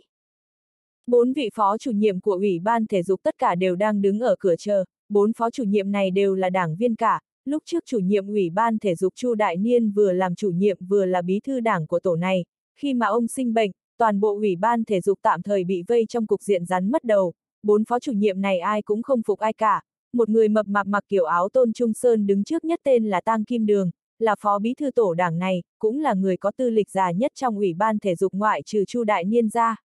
Vốn gã ta là người có hy vọng nhất trong việc tiếp nhận vị trí của Chu Đại Niên, chỉ là không ngờ rằng giữa đường lại nhảy ra một trương dương, giấc mộng lên làm chủ nhiệm ủy ban thể dục của gã cũng tuyên bố chấm dứt. Người đen gầy kia tên là Lý Hồng Dương, xuất thân từ vận động viên, cũng là người có thành tựu lớn nhất trong bốn gã phó chủ nhiệm này, khi còn trẻ đã từng vinh dự nhận chức quán quân cầu lông toàn quốc, đã từng hai lần đạt quán quân cầu lông của châu Á, bởi vì đoạn lịch sử này, cho nên Lý Hồng Cương căn bản là không coi những phó chủ nhiệm khác ra gì cả. Cho rằng những người này đều là kẻ bình thường, căn bản là không hiểu thể dục thể thao là gì cả. Hai phó chủ nhiệm còn lại một tên là Lưu Cương, một tên là Thôi Quốc Trụ, đều xuất thân từ thể dục cả, hai người này cũng có một chút bối cảnh, cần nhấn mạnh một chút chính là Thôi Quốc Trụ, năm nay 44 tuổi, là cao thủ cờ vây chuyên nghiệp, là một bạn cờ tốt lâu năm của bí thư thị ủy từ Quang Nhiên. Lúc Chu Đại Niên sinh bệnh, Thôi Quốc Trụ đã làm ra một ít hoạt động, từ Quang Nhiên cũng đã tiết lộ ý tứ giúp đỡ gã ta trong lời nói, Thôi Quốc Trụ cũng ôm hy vọng lớn về việc có thể lên làm chủ nhiệm ủy ban thể dục, chỉ là vị chủ nhiệm mới Trương Dương này đến và chính thức tuyên bố với bọn họ rằng tất cả chỉ là một trò đùa. Đứng ngoài cửa còn có một người mặt đen cao to, gã ta gọi là Đoạn Kiến Trung, cũng là đảng viên của Ủy ban Thể dục, là tổ trưởng tổ kiểm tra kỷ luật của Ủy ban Thể dục thành phố Nam Tích, đứng bên cạnh gã còn có một người phụ nữ khoảng 30 tuổi, cũng là người nữ đảng viên duy nhất trong nhóm người này, lúc trước là trợ lý của Chu Đại Niên, tên Tiêu Điều Mẫn. Bộ trưởng bộ tổ chức đích thân tới, hơn nữa hôm nay còn chính là ngày đầu tiên mà chủ nhiệm mới đến nhậm chức, bọn họ không một ai vắng mặt cả, vẻ mặt của Tang Kim Đường tươi cười đi ra đón, lúc Chu Đại Niên sinh bệnh nằm viện thì, gã vẫn tự cho mình là người lãnh đạo của Ủy ban Thể dục, nhiệt tình đưa tay ra nắm lấy tay của Bộ trưởng Bộ Tổ chức Hà Anh Bồi, nói, hoan nghênh Bộ trưởng Hà đến đây chỉ đạo công tác. Hà Anh Bồi không khỏi cười nói, tôi làm gì mà chỉ đạo công tác nhiều như vậy, ngày hôm nay tôi đến là vì giới thiệu vị lãnh đạo mới cho mọi người. Nói đến đây, ông dừng lại một chút, nhấn mạnh thêm lời nói, giới thiệu với mọi người, vị này chính là chủ nhiệm Ủy ban Thể dục mới tới, Trương Dương. Sáu vị đảng viên của Ủy ban Thể dục đều nhìn Trương Dương, trong lòng có đủ kinh ngạc và kinh ngạc, bọn họ đều nghe nói vị chủ nhiệm mới tới này rất trẻ tuổi anh không ai có thể ngờ rằng lại trẻ đến nổi như vậy. Tăng Kim Đường năm nay 51 tuổi, con của ông ta cũng đã 27 rồi. Tăng Kim Đường nhìn Trương Dương, trong lòng thầm nghĩ, thoạt nhìn còn không lớn hơn con của mình. Cái thế đạo gì đây, tôi lăn lộn cả đời cũng không bằng một thằng nhóc vừa mới dứt sữa, sau này còn phải nghe theo lời của nó nữa chứ, nhưng mà ngay trước mặt bộ trưởng bộ tổ chức, không ai dám nói ra suy nghĩ trong lòng cả. Vẻ mặt của Tang Kim Đường vẫn vui cười đi đến trước mặt của Trương Dương, thân thiết nói, chủ nhiệm Trương, không ngờ rằng cậu lại trẻ tuổi như vậy, những lời này nghe qua thì có vẻ thân thiết, nhưng cẩn thận nghĩ lại thì sẽ phát hiện ra sự miệt thị và nghi vấn bên trong. Trương Dương cười cười, bắt tay với Tang Kim Đường, ngay sau đó người hắn bắt tay chính là Tiêu Điều Mẫn, người nữ duy nhất này từ trước đến giờ chưa từng cam chịu lạc hậu, nhất là Tiêu Điều Mẫn làm trợ lý chủ nhiệm, sau này đối tượng mà cô trợ lý sẽ chính là người thanh niên này. Trương Dương lần lượt bắt tay với Thôi Kim Trụ, đoạn kiến trung, người bắt tay cuối cùng chính là Lý Hồng Dương, tay của Lý Hồng Dương đúng là lớn kinh người, rốt cục vẫn là người xuất thân từ vận động viên. Sau khi giới thiệu qua lại lẫn nhau, tiêu điều mẫn nói, đừng đứng ở ngoài nữa, mau vào đi, cơm nước đã chuẩn bị xong hết rồi. Vì thế Tăng Kim Đường cùng với Bộ trưởng tổ chức Hà Anh Bồi đi đầu, Tiêu Điều Mẫn và Trương Dương đi sau, mấy đảng viên khác lần lượt đi theo. Nhà khách của Ủy ban Thể dục tuy rằng không phải là một quán ăn chuyên nghiệp gì, nhưng mà cơm nước cũng được đặc biệt chú ý, đầu bếp của bọn họ lúc trước từng làm việc cho chính phủ, sau khi về hưu được mời đến đây làm. Bởi vì là buổi trưa, dưới sự kiên trì của Hạ Anh Bồi nên tất cả mọi người không uống rượu, ông ở đây làm cho bầu không khí cũng trở nên vô cùng câu nệ, Trương Dương tuy rằng là một người không quan tâm lắm, nhưng mà ngày hôm nay dù sao cũng là ngày đầu tiên đến nhậm chức, không biết gì về tất cả thành viên của Ủy ban Thể dục, đương nhiên là cũng không thể mở miệng chém gió như thường ngày rồi, buổi dùng cơm trưa này, tất cả mọi người đều ăn rất cẩn thận, rất câu nệ, mỗi vị thành viên của Ủy ban Thể dục đều lặng lẽ quan sát Trương Dương. Nỗ lực làm ra một ấn tượng ra mắt đầu tiên khắc sâu nhất. Bởi vì không có uống rượu, cho nên bữa cơm trưa này kết thúc rất nhanh, sau bữa ăn, mọi người cùng Hà Anh Bồi dẫn Trương Dương đi dạo một vòng trong khu làm việc của Ủy ban Thể dục, phần lớn là làm quen với hoàn cảnh ở đây một chút. Tiêu Điều Mẫn nói, chủ nhiệm Trương, tôi không ngờ ngài lại đến nhanh như vậy, phòng làm việc còn chưa chuẩn bị tốt. Trương Dương cười nói, không cần phải chuẩn bị tốt làm gì, chỉ cần một căn phòng, một bàn làm việc là được, sau này hắn sẽ là người lãnh đạo đứng đầu của Ủy ban Thể dục, hòa ái dễ gần là biểu hiện bên ngoài cần phải có rồi. Tiêu Điều Mẫn nói, buổi chiều tôi sẽ chuẩn bị, buổi chiều hẳn là có thể chuẩn bị tốt. chương 520, khởi đầu 3. Trương Dương gật đầu, Phó Bí Thư Tổ đảng bên cạnh Tăng Kim Đường hỏi, chủ nhiệm Trương dự định lúc nào đi làm. Trương Dương nói, ngày mai đi, sáng mai tôi đến. Tiêu Điều Mẫn nói, chủ nhiệm Trương, ngài đến Nam Tích có an bài chỗ ở chữ. Nếu như chưa có, bây giờ tôi có thể kêu nhà khách thu xếp cho ngài một phòng. Trương Dương cười nói tốt, làm phiền chủ nhiệm tiêu, hắn quả thật cần một chỗ để ở, nhà khách ủy ban thể dục cách địa điểm làm việc của ủy ban thể dục chỉ có một bức tường, có thể ở chỗ này thì quá tốt rồi. Tiêu điều mẫn thầm nghĩ trong lòng, tôi đâu phải là chủ nhiệm gì đâu, tôi chỉ là trợ lý chủ nhiệm thôi. Nhưng mà toàn bộ ủy ban thể dục đều gọi cô ta là vậy, người khác gọi tiêu điều mẫn đều thấy rất tự nhiên, chỉ là Trương Dương lại chính là chủ nhiệm của cô, người ta gọi cô là chủ nhiệm, cô đương nhiên là không nhận nổi rồi.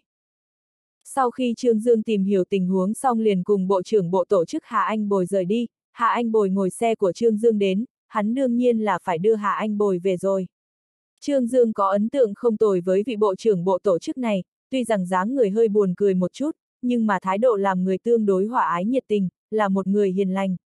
Trương Dương đưa Hạ Anh Bồi đến bãi giữ xe của thị ủy, lúc cáo từ còn nói với Hạ Anh Bồi, Bộ trưởng Hà, chờ hai ngày nữa tôi thu xếp xong mọi chuyện, tôi sẽ mời ông uống rượu, đến lúc đó nhớ nể mặt tham dự nha.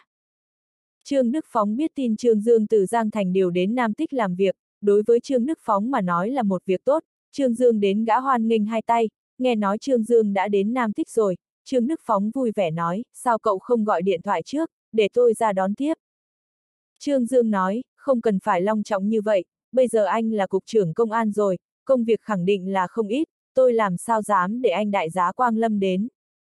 Trương Đức Phóng cười nói, cái gì mà cục trưởng công an, tôi chỉ là tạm giữ thôi, có trời mới biết khi nào tôi mới chuyển lên chính thức.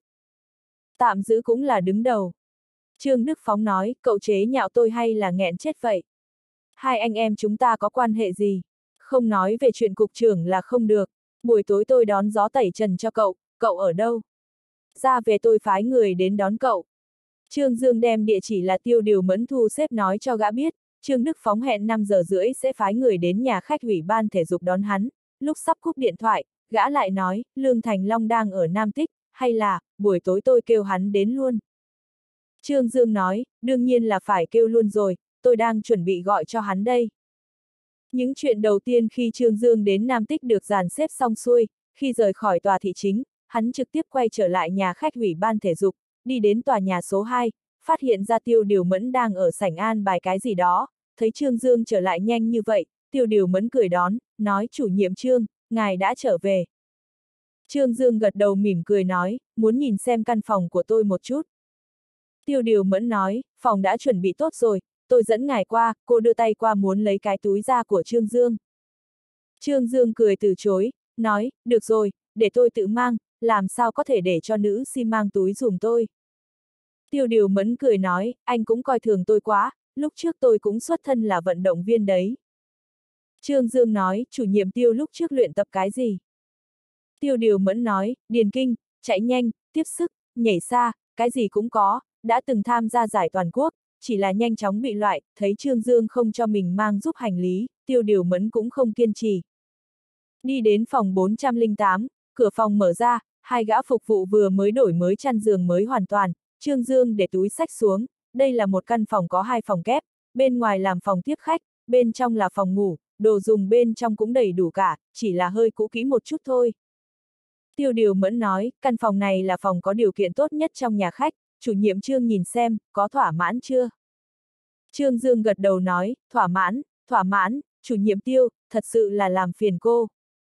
Tiêu điều mẫn bị hắn mở miệng ra là gọi chủ nhiệm tiêu làm cho không được tự nhiên, cô có chút lúng túng nói, chủ nhiệm Trương, ngài không nên gọi tôi như vậy, tôi chỉ là một người phụ việc trong ủy ban thể dục, là trợ lý chủ nhiệm, không phải là một chủ nhiệm gì cả, ngài gọi tên của tôi cũng được.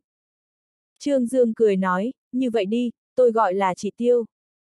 Tiêu điều mẫn cười thành tiếng, cô đi đến phía cửa sổ giật màn cửa sổ lên, nói với Trương Dương, chủ nhiệm Trương, nhà khách có một hoa viên, bây giờ là trời thu, đợi khi xuân về nở hoa, thì trăm hoa trong hoa viên nở rộ, cảnh sắc tương đối xinh đẹp, buổi tối ngay cả mùi của gió cũng rất thơm. Trương Dương cũng đi đến phía cửa sổ nhìn một chút. Tiêu Điều Mẫn nói, từ cửa nhỏ phía đông kia có thể đi qua ký túc xá của Ủy ban thể dục chúng ta, phía bắc có lối đi thông với sân thể dục, buổi tối tản bộ nếu không muốn đi xa, ngài có thể đến sân thể dục cũng được, muốn tập thể hình hay vận động, các loại hình nào cũng có, gần đây có nhiều vận động viên luyện tập bên trong, quản lý hơi nghiêm ngặt một chút, cô mó ra một tấm thẻ chứng nhận đặt lên bàn, ngài vừa mới đến ủy ban thể dục, có một vài giấy chứng nhận cũng tiện hơn một chút, tiêu điều mẫn suy nghĩ cũng thật là chu đáo. Trương Dương nói, ngày mai tôi chính thức đi làm, còn làm phiền chị Tiêu dẫn tôi đến các phòng các bộ môn để nhìn một cái. Tiêu điều mẫn nói, cái này vốn là chức trách của tôi, chủ nhiệm Trương yên tâm đi, đợi sau khi hai gã phục vụ đi rồi, cô mới nhỏ giọng nói, chủ nhiệm Trương, bên nhà hàng tôi đã nói chuyện rồi, ngài chỉ cần vào đó ăn rồi ký tên là được, nếu như không muốn đến, có thể gọi điện thoại kêu bọn họ trực tiếp mang đến. Trương Dương trước khi đi đến Nam Tích cũng không có ôm quá nhiều hy vọng gì với Ủy ban thể dục cả, cho rằng Ủy ban thể dục của Nam Tích cũng không khác gì Giang Thành cả, đều là chỗ cũ nát, một nghèo hai trắng, không ngờ rằng Ủy ban thể dục không chỉ có hoàn cảnh ưu nhã, thoạt nhìn điều kiện trong các phương diện cũng không tồi, tuy rằng không phải là bộ ngành chủ yếu gì, nhưng mà cảm giác của người đứng đầu, cũng thật là đã. Sau khi tiêu điều mẫn nói xong tất cả mọi chuyện, liền chào Trương Dương ra về, Trương Dương tiến cô ra đến cửa, tiêu điều mẫn cười nói, gặp phải bất kỳ chuyện gì cứ việc gọi điện thoại, có thể giải quyết, tôi nhất định sẽ giải quyết giúp ngài. Trương Dương gật đầu, lại cảm ơn một lần nữa. Tiêu điều mẫn đi rồi, Trương Dương đi tắm nước nóng một phen, rồi thay một bộ đồ khác, vừa nằm xuống giường không được bao lâu, thì cửa phòng của hắn liền vang lên tiếng gõ cửa. Trương Dương đi ra mở cửa phòng, là Lương Thành Long tới. Lương Thành Long vừa vào cửa liền hét, ta XXX, cậu không có suy nghĩ sao, vừa đến Nam Tích làm quan phụ mẫu, liền khinh người khác, không biết gọi điện thoại nói một tiếng à. chương 520, khởi đầu 4. Trương Dương cười tủm tỉm nằm xuống giường, đôi chân trần trà qua trà lại trên giường, tôi đến Nam Tích mà cậu không biết. Giả ngu à. Lương Thành Long nói, trời đất chứng giám, gần đây tôi bị chuyện cảng nước sâu làm cho sức đầu mẻ chán, khoản tiền mà chính phủ Nam Tích đáp ứng không có, tôi đang nghĩ biện pháp gom tiền, căn bản là không quan tâm đến chuyện của quan trường, hắn ngồi xuống cạnh Trương Dương, vỗ vỗ vai của Trương Dương nói, lần này lợi hại quá, nhân hòa được phúc, phó sử thành chính sử. Trương Dương thờ ơ lạnh nhạt nói, tám chữ còn chưa có một nét, tôi không phải là quan phụ mẫu gì cả, chỉ là chủ nhiệm ủy ban thể dục, nói trách ra là chức quan nhàn hạ phụ trách dụ dân chúng chơi thể thao. Lương Thành Long cười nói, tôi lại không nghĩ như vậy, bây giờ đã không giống như xưa, tố chất nhân dân đã được đề thăng lên một trình độ cao, cậu không nhìn thấy nhiệt độ của mấy sân bóng đá, sân bóng rổ, sân thể dục đang tăng cao sao, bây giờ toàn dân đều đang tham gia phong trào thể dục thể thao, bước ra ngoài cửa, ăn cơm uống rượu mà không nói chuyện thể dục thì chính là không yêu nước, không nói hai câu về bóng đá thì không thể hiện ra được đẳng cấp bản thân. Trương Dương cười nói, nói về bóng đá và đẳng cấp có quan hệ chó má gì ở đây. Tiêu chuẩn của bọn họ như vậy, tôi cũng lười tham gia. Lương Thành Long nói, Nam Tích sang năm làm đại hội thể dục thể thao, năm nay cậu lại được điều đến, xem ra lãnh đạo rất là coi trọng cậu. Trương Dương nói, lần này coi như là tránh được một kiếp, nhân họa được phúc tôi không dám nói, nhưng mà mới vừa đến, tôi cũng nên cúi thấp thành thật một chút, để tránh lộ ra bím tóc gì bị người ta nắm. Hắn nhìn Lương Thành Long, nói cậu không phải là bận rộn nhiều việc sao? Sao lại chạy đến đây sớm vậy? Lương Thành Long nói, bận cái rắm, tôi cho tất cả công nhân đình công rồi, bọn họ không cho tôi tiền, tôi lấy cái gì mà phát lương? Cậu xem, chuyện cảng nước sâu này đúng là con mẹ nó tà mà, hứa ra dũng chết, tập đoàn tinh nguyệt không ra tiền, chủ tịch Phạm Tư Kỳ trở về Singapore, nói trở về thương thảo dự án đầu tư một lần nữa, thật sự không hiểu con nhỏ này muốn làm gì luôn. Người nước ngoài chúng ta không nói, nói về Hà Trường An đi, ông ta cũng là quân chủ lực trong đầu tư cảng nước sâu, lúc trước đã lấy ra 2 tỷ rồi, chỉ là lúc này lại đột nhiên chơi trò bốc hơi khỏi nhân gian, biến mất lâu như vậy, ngay cả người cũng không thấy, chẳng lẽ ông ta bỏ luôn 2 tỷ.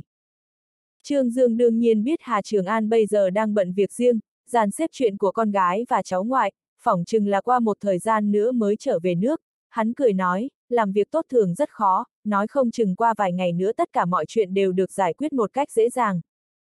Lương Thành Long nói, tôi mặc kệ, dù sao thì không có tiền tôi sẽ không khởi công, buổi sáng bí thư tử đã gọi chúng tôi đến tập trung mở một buổi họp, kêu chúng tôi khắc phục khó khăn, nói thì nghe dễ quá, khó khăn làm sao mà dễ khắc phục như vậy sao? Trương Dương nói, đã sớm nói cậu là một gian thương rồi mà, bây giờ công trình cảng nước sâu gặp khó khăn, cậu không phải bình thường luôn tự nhận là người yêu nước sao? Bây giờ là lúc mà cậu biểu hiện rồi đấy. Lương Thành Long nói, nói đến chuyện này lại tức giận, nếu như đám lãnh đạo Nam Tích mà có thể đối xử bình đẳng thì không có gì, nhưng mà bọn họ căn bản là không công bằng, có nghe nói về công trình xây dựng trung tâm thể dục mới không? Người nhận thầu chính là em trai của Từ Quang Nhiên Từ Quang Lợi, khoản tiền công trình của hắn ta tại sao không khất nợ? Trương Dương có biết một người em của Từ Quang Nhiên là Từ Quang Thắng, nhưng chưa từng gặp qua Từ Quang Lợi, không ngờ rằng Từ Quang Nhiên lại là loại nước phù sa không chảy ra ruộng người ngoài, trung tâm sân thể dục mới lại chính là do em trai của ông ta nhận thầu xây dựng. Trương Dương nói, cậu đi nói chuyện bí thư từ một chuyến, ông ta còn không đem khoản nợ công trình trả cho cậu sao? Lương Thành Long thở dài nói, làm gì dễ dàng như vậy, lúc trước tôi vẫn đi theo con đường của thị trưởng hạ, ông ta là một người thành thật, là một thị trưởng có thể tin được, cũng không có quyền lực của thị trưởng, chuyện cảng nước sau, ông ta căn bản là không dính vào, vẫn luôn là do thường lăng không phụ trách, bây giờ thường lăng không đi rồi, không biết ông ta sẽ thế nào. Trương Dương nói, lần này tôi đến Nam Tích là để hỗ trợ cho thị trưởng hạ. Lương Thành Long nói, ông ta cũng không hề có dính dáng gì đến thể dục thể thao cả, lần này thường vụ phó thị trưởng Trần Hạo, phó thị trưởng Vương Hải Ba được đề bạt lên, tất cả đều là môn sinh của Từ Quang Nhiên, Hạ Bá Đạt muốn xoay mình tại Nam Tích cũng không dễ dàng. Trương Dương nghe Lương Thành Long phân tích một hồi, phát hiện ra Lương Thành Long có oán niệm rất lớn đối với bí thư thị ủy Từ Quang Nhiên, lúc trước Trương Dương có vài lần tiếp xúc với Từ Quang Nhiên, luôn cảm thấy con người của Từ Quang Nhiên tương đối hòa ái, nếu như mọi chuyện mà Lương Thành Long nói đều là sự thật, vậy thì Từ Quang Nhiên và Thẩm Khánh Hoa của Phong Trạch chính là người tám lạng kẻ nửa cân, nhưng mà Trương Dương lăn lộn trong thể chế lâu như vậy rồi, đối với loại chuyện này thì thấy cũng chẳng thể làm gì được. Bí thư thị ủy là người đứng đầu, ông ta muốn an bài ai mà không được hả? Đổi lại cho Trương Dương làm bí thư thị ủy, khẳng định là hắn cũng sẽ làm như vậy. Trương Dương nói, lúc trước tôi chưa từng làm qua công tác của Ủy ban Thể dục, vừa mới đến đây nên không có bất luận manh mối nào cả. Lương Thành Long nói, tôi cũng không quen thuộc về Ủy ban Thể dục, nhưng mà làm quan chỗ nào cũng như nhau, muốn làm quan tốt thì phải lừa trên gạt dưới, cái này không phải là tôi đã kích tính tích cực của cậu, mà chỉ nói sự thật tôi, Ủy ban Thể dục là một chỗ để dưỡng lão thích hợp nhất tại Nam Tích, công việc cũng không nhiều, ngay cả xây dựng trung tâm thể dục thể thao cũng không có chuyện của bên cậu. Trương Dương nói, như vậy tôi càng thích, vừa định nương cơ hội này để nghỉ ngơi điều dưỡng một phen. Lương Thành Long mở to mắt ra, không thể tin được nhìn Trương Dương, cậu mà cũng có thể thành thật được sao? Tôi không tin. Trương Dương nói, thời gian sẽ kiểm tra tất cả, được rồi, Trương Đức Phóng lăn lộn tại Nam Tích thế nào? Lương Thành Long bĩu môi nói, hắn à, một cái bánh quẩy, đi đến chỗ nào cũng có thể xài được, khi đường hưng sinh chạy án, bây giờ Cục Công an Nam Tích là do một mình hắn định đoạt, hắn đến Nam Tích tuy rằng không lâu, chỉ là danh tiếng không được tốt lắm, cậu nên giữ khoảng cách cẩn thận với hắn, Lương Thành Long tốt bụng nhắc nhở. Trương Dương cười nói, nói như thế nào cũng đều là quen biết đã lâu, tôi làm thể dục cũng không có xung đột lợi ích gì với hắn, nghe cậu nói vậy, hình như có ân oán gì với hắn. Audio điện tử võ tấn bền Hết chương 520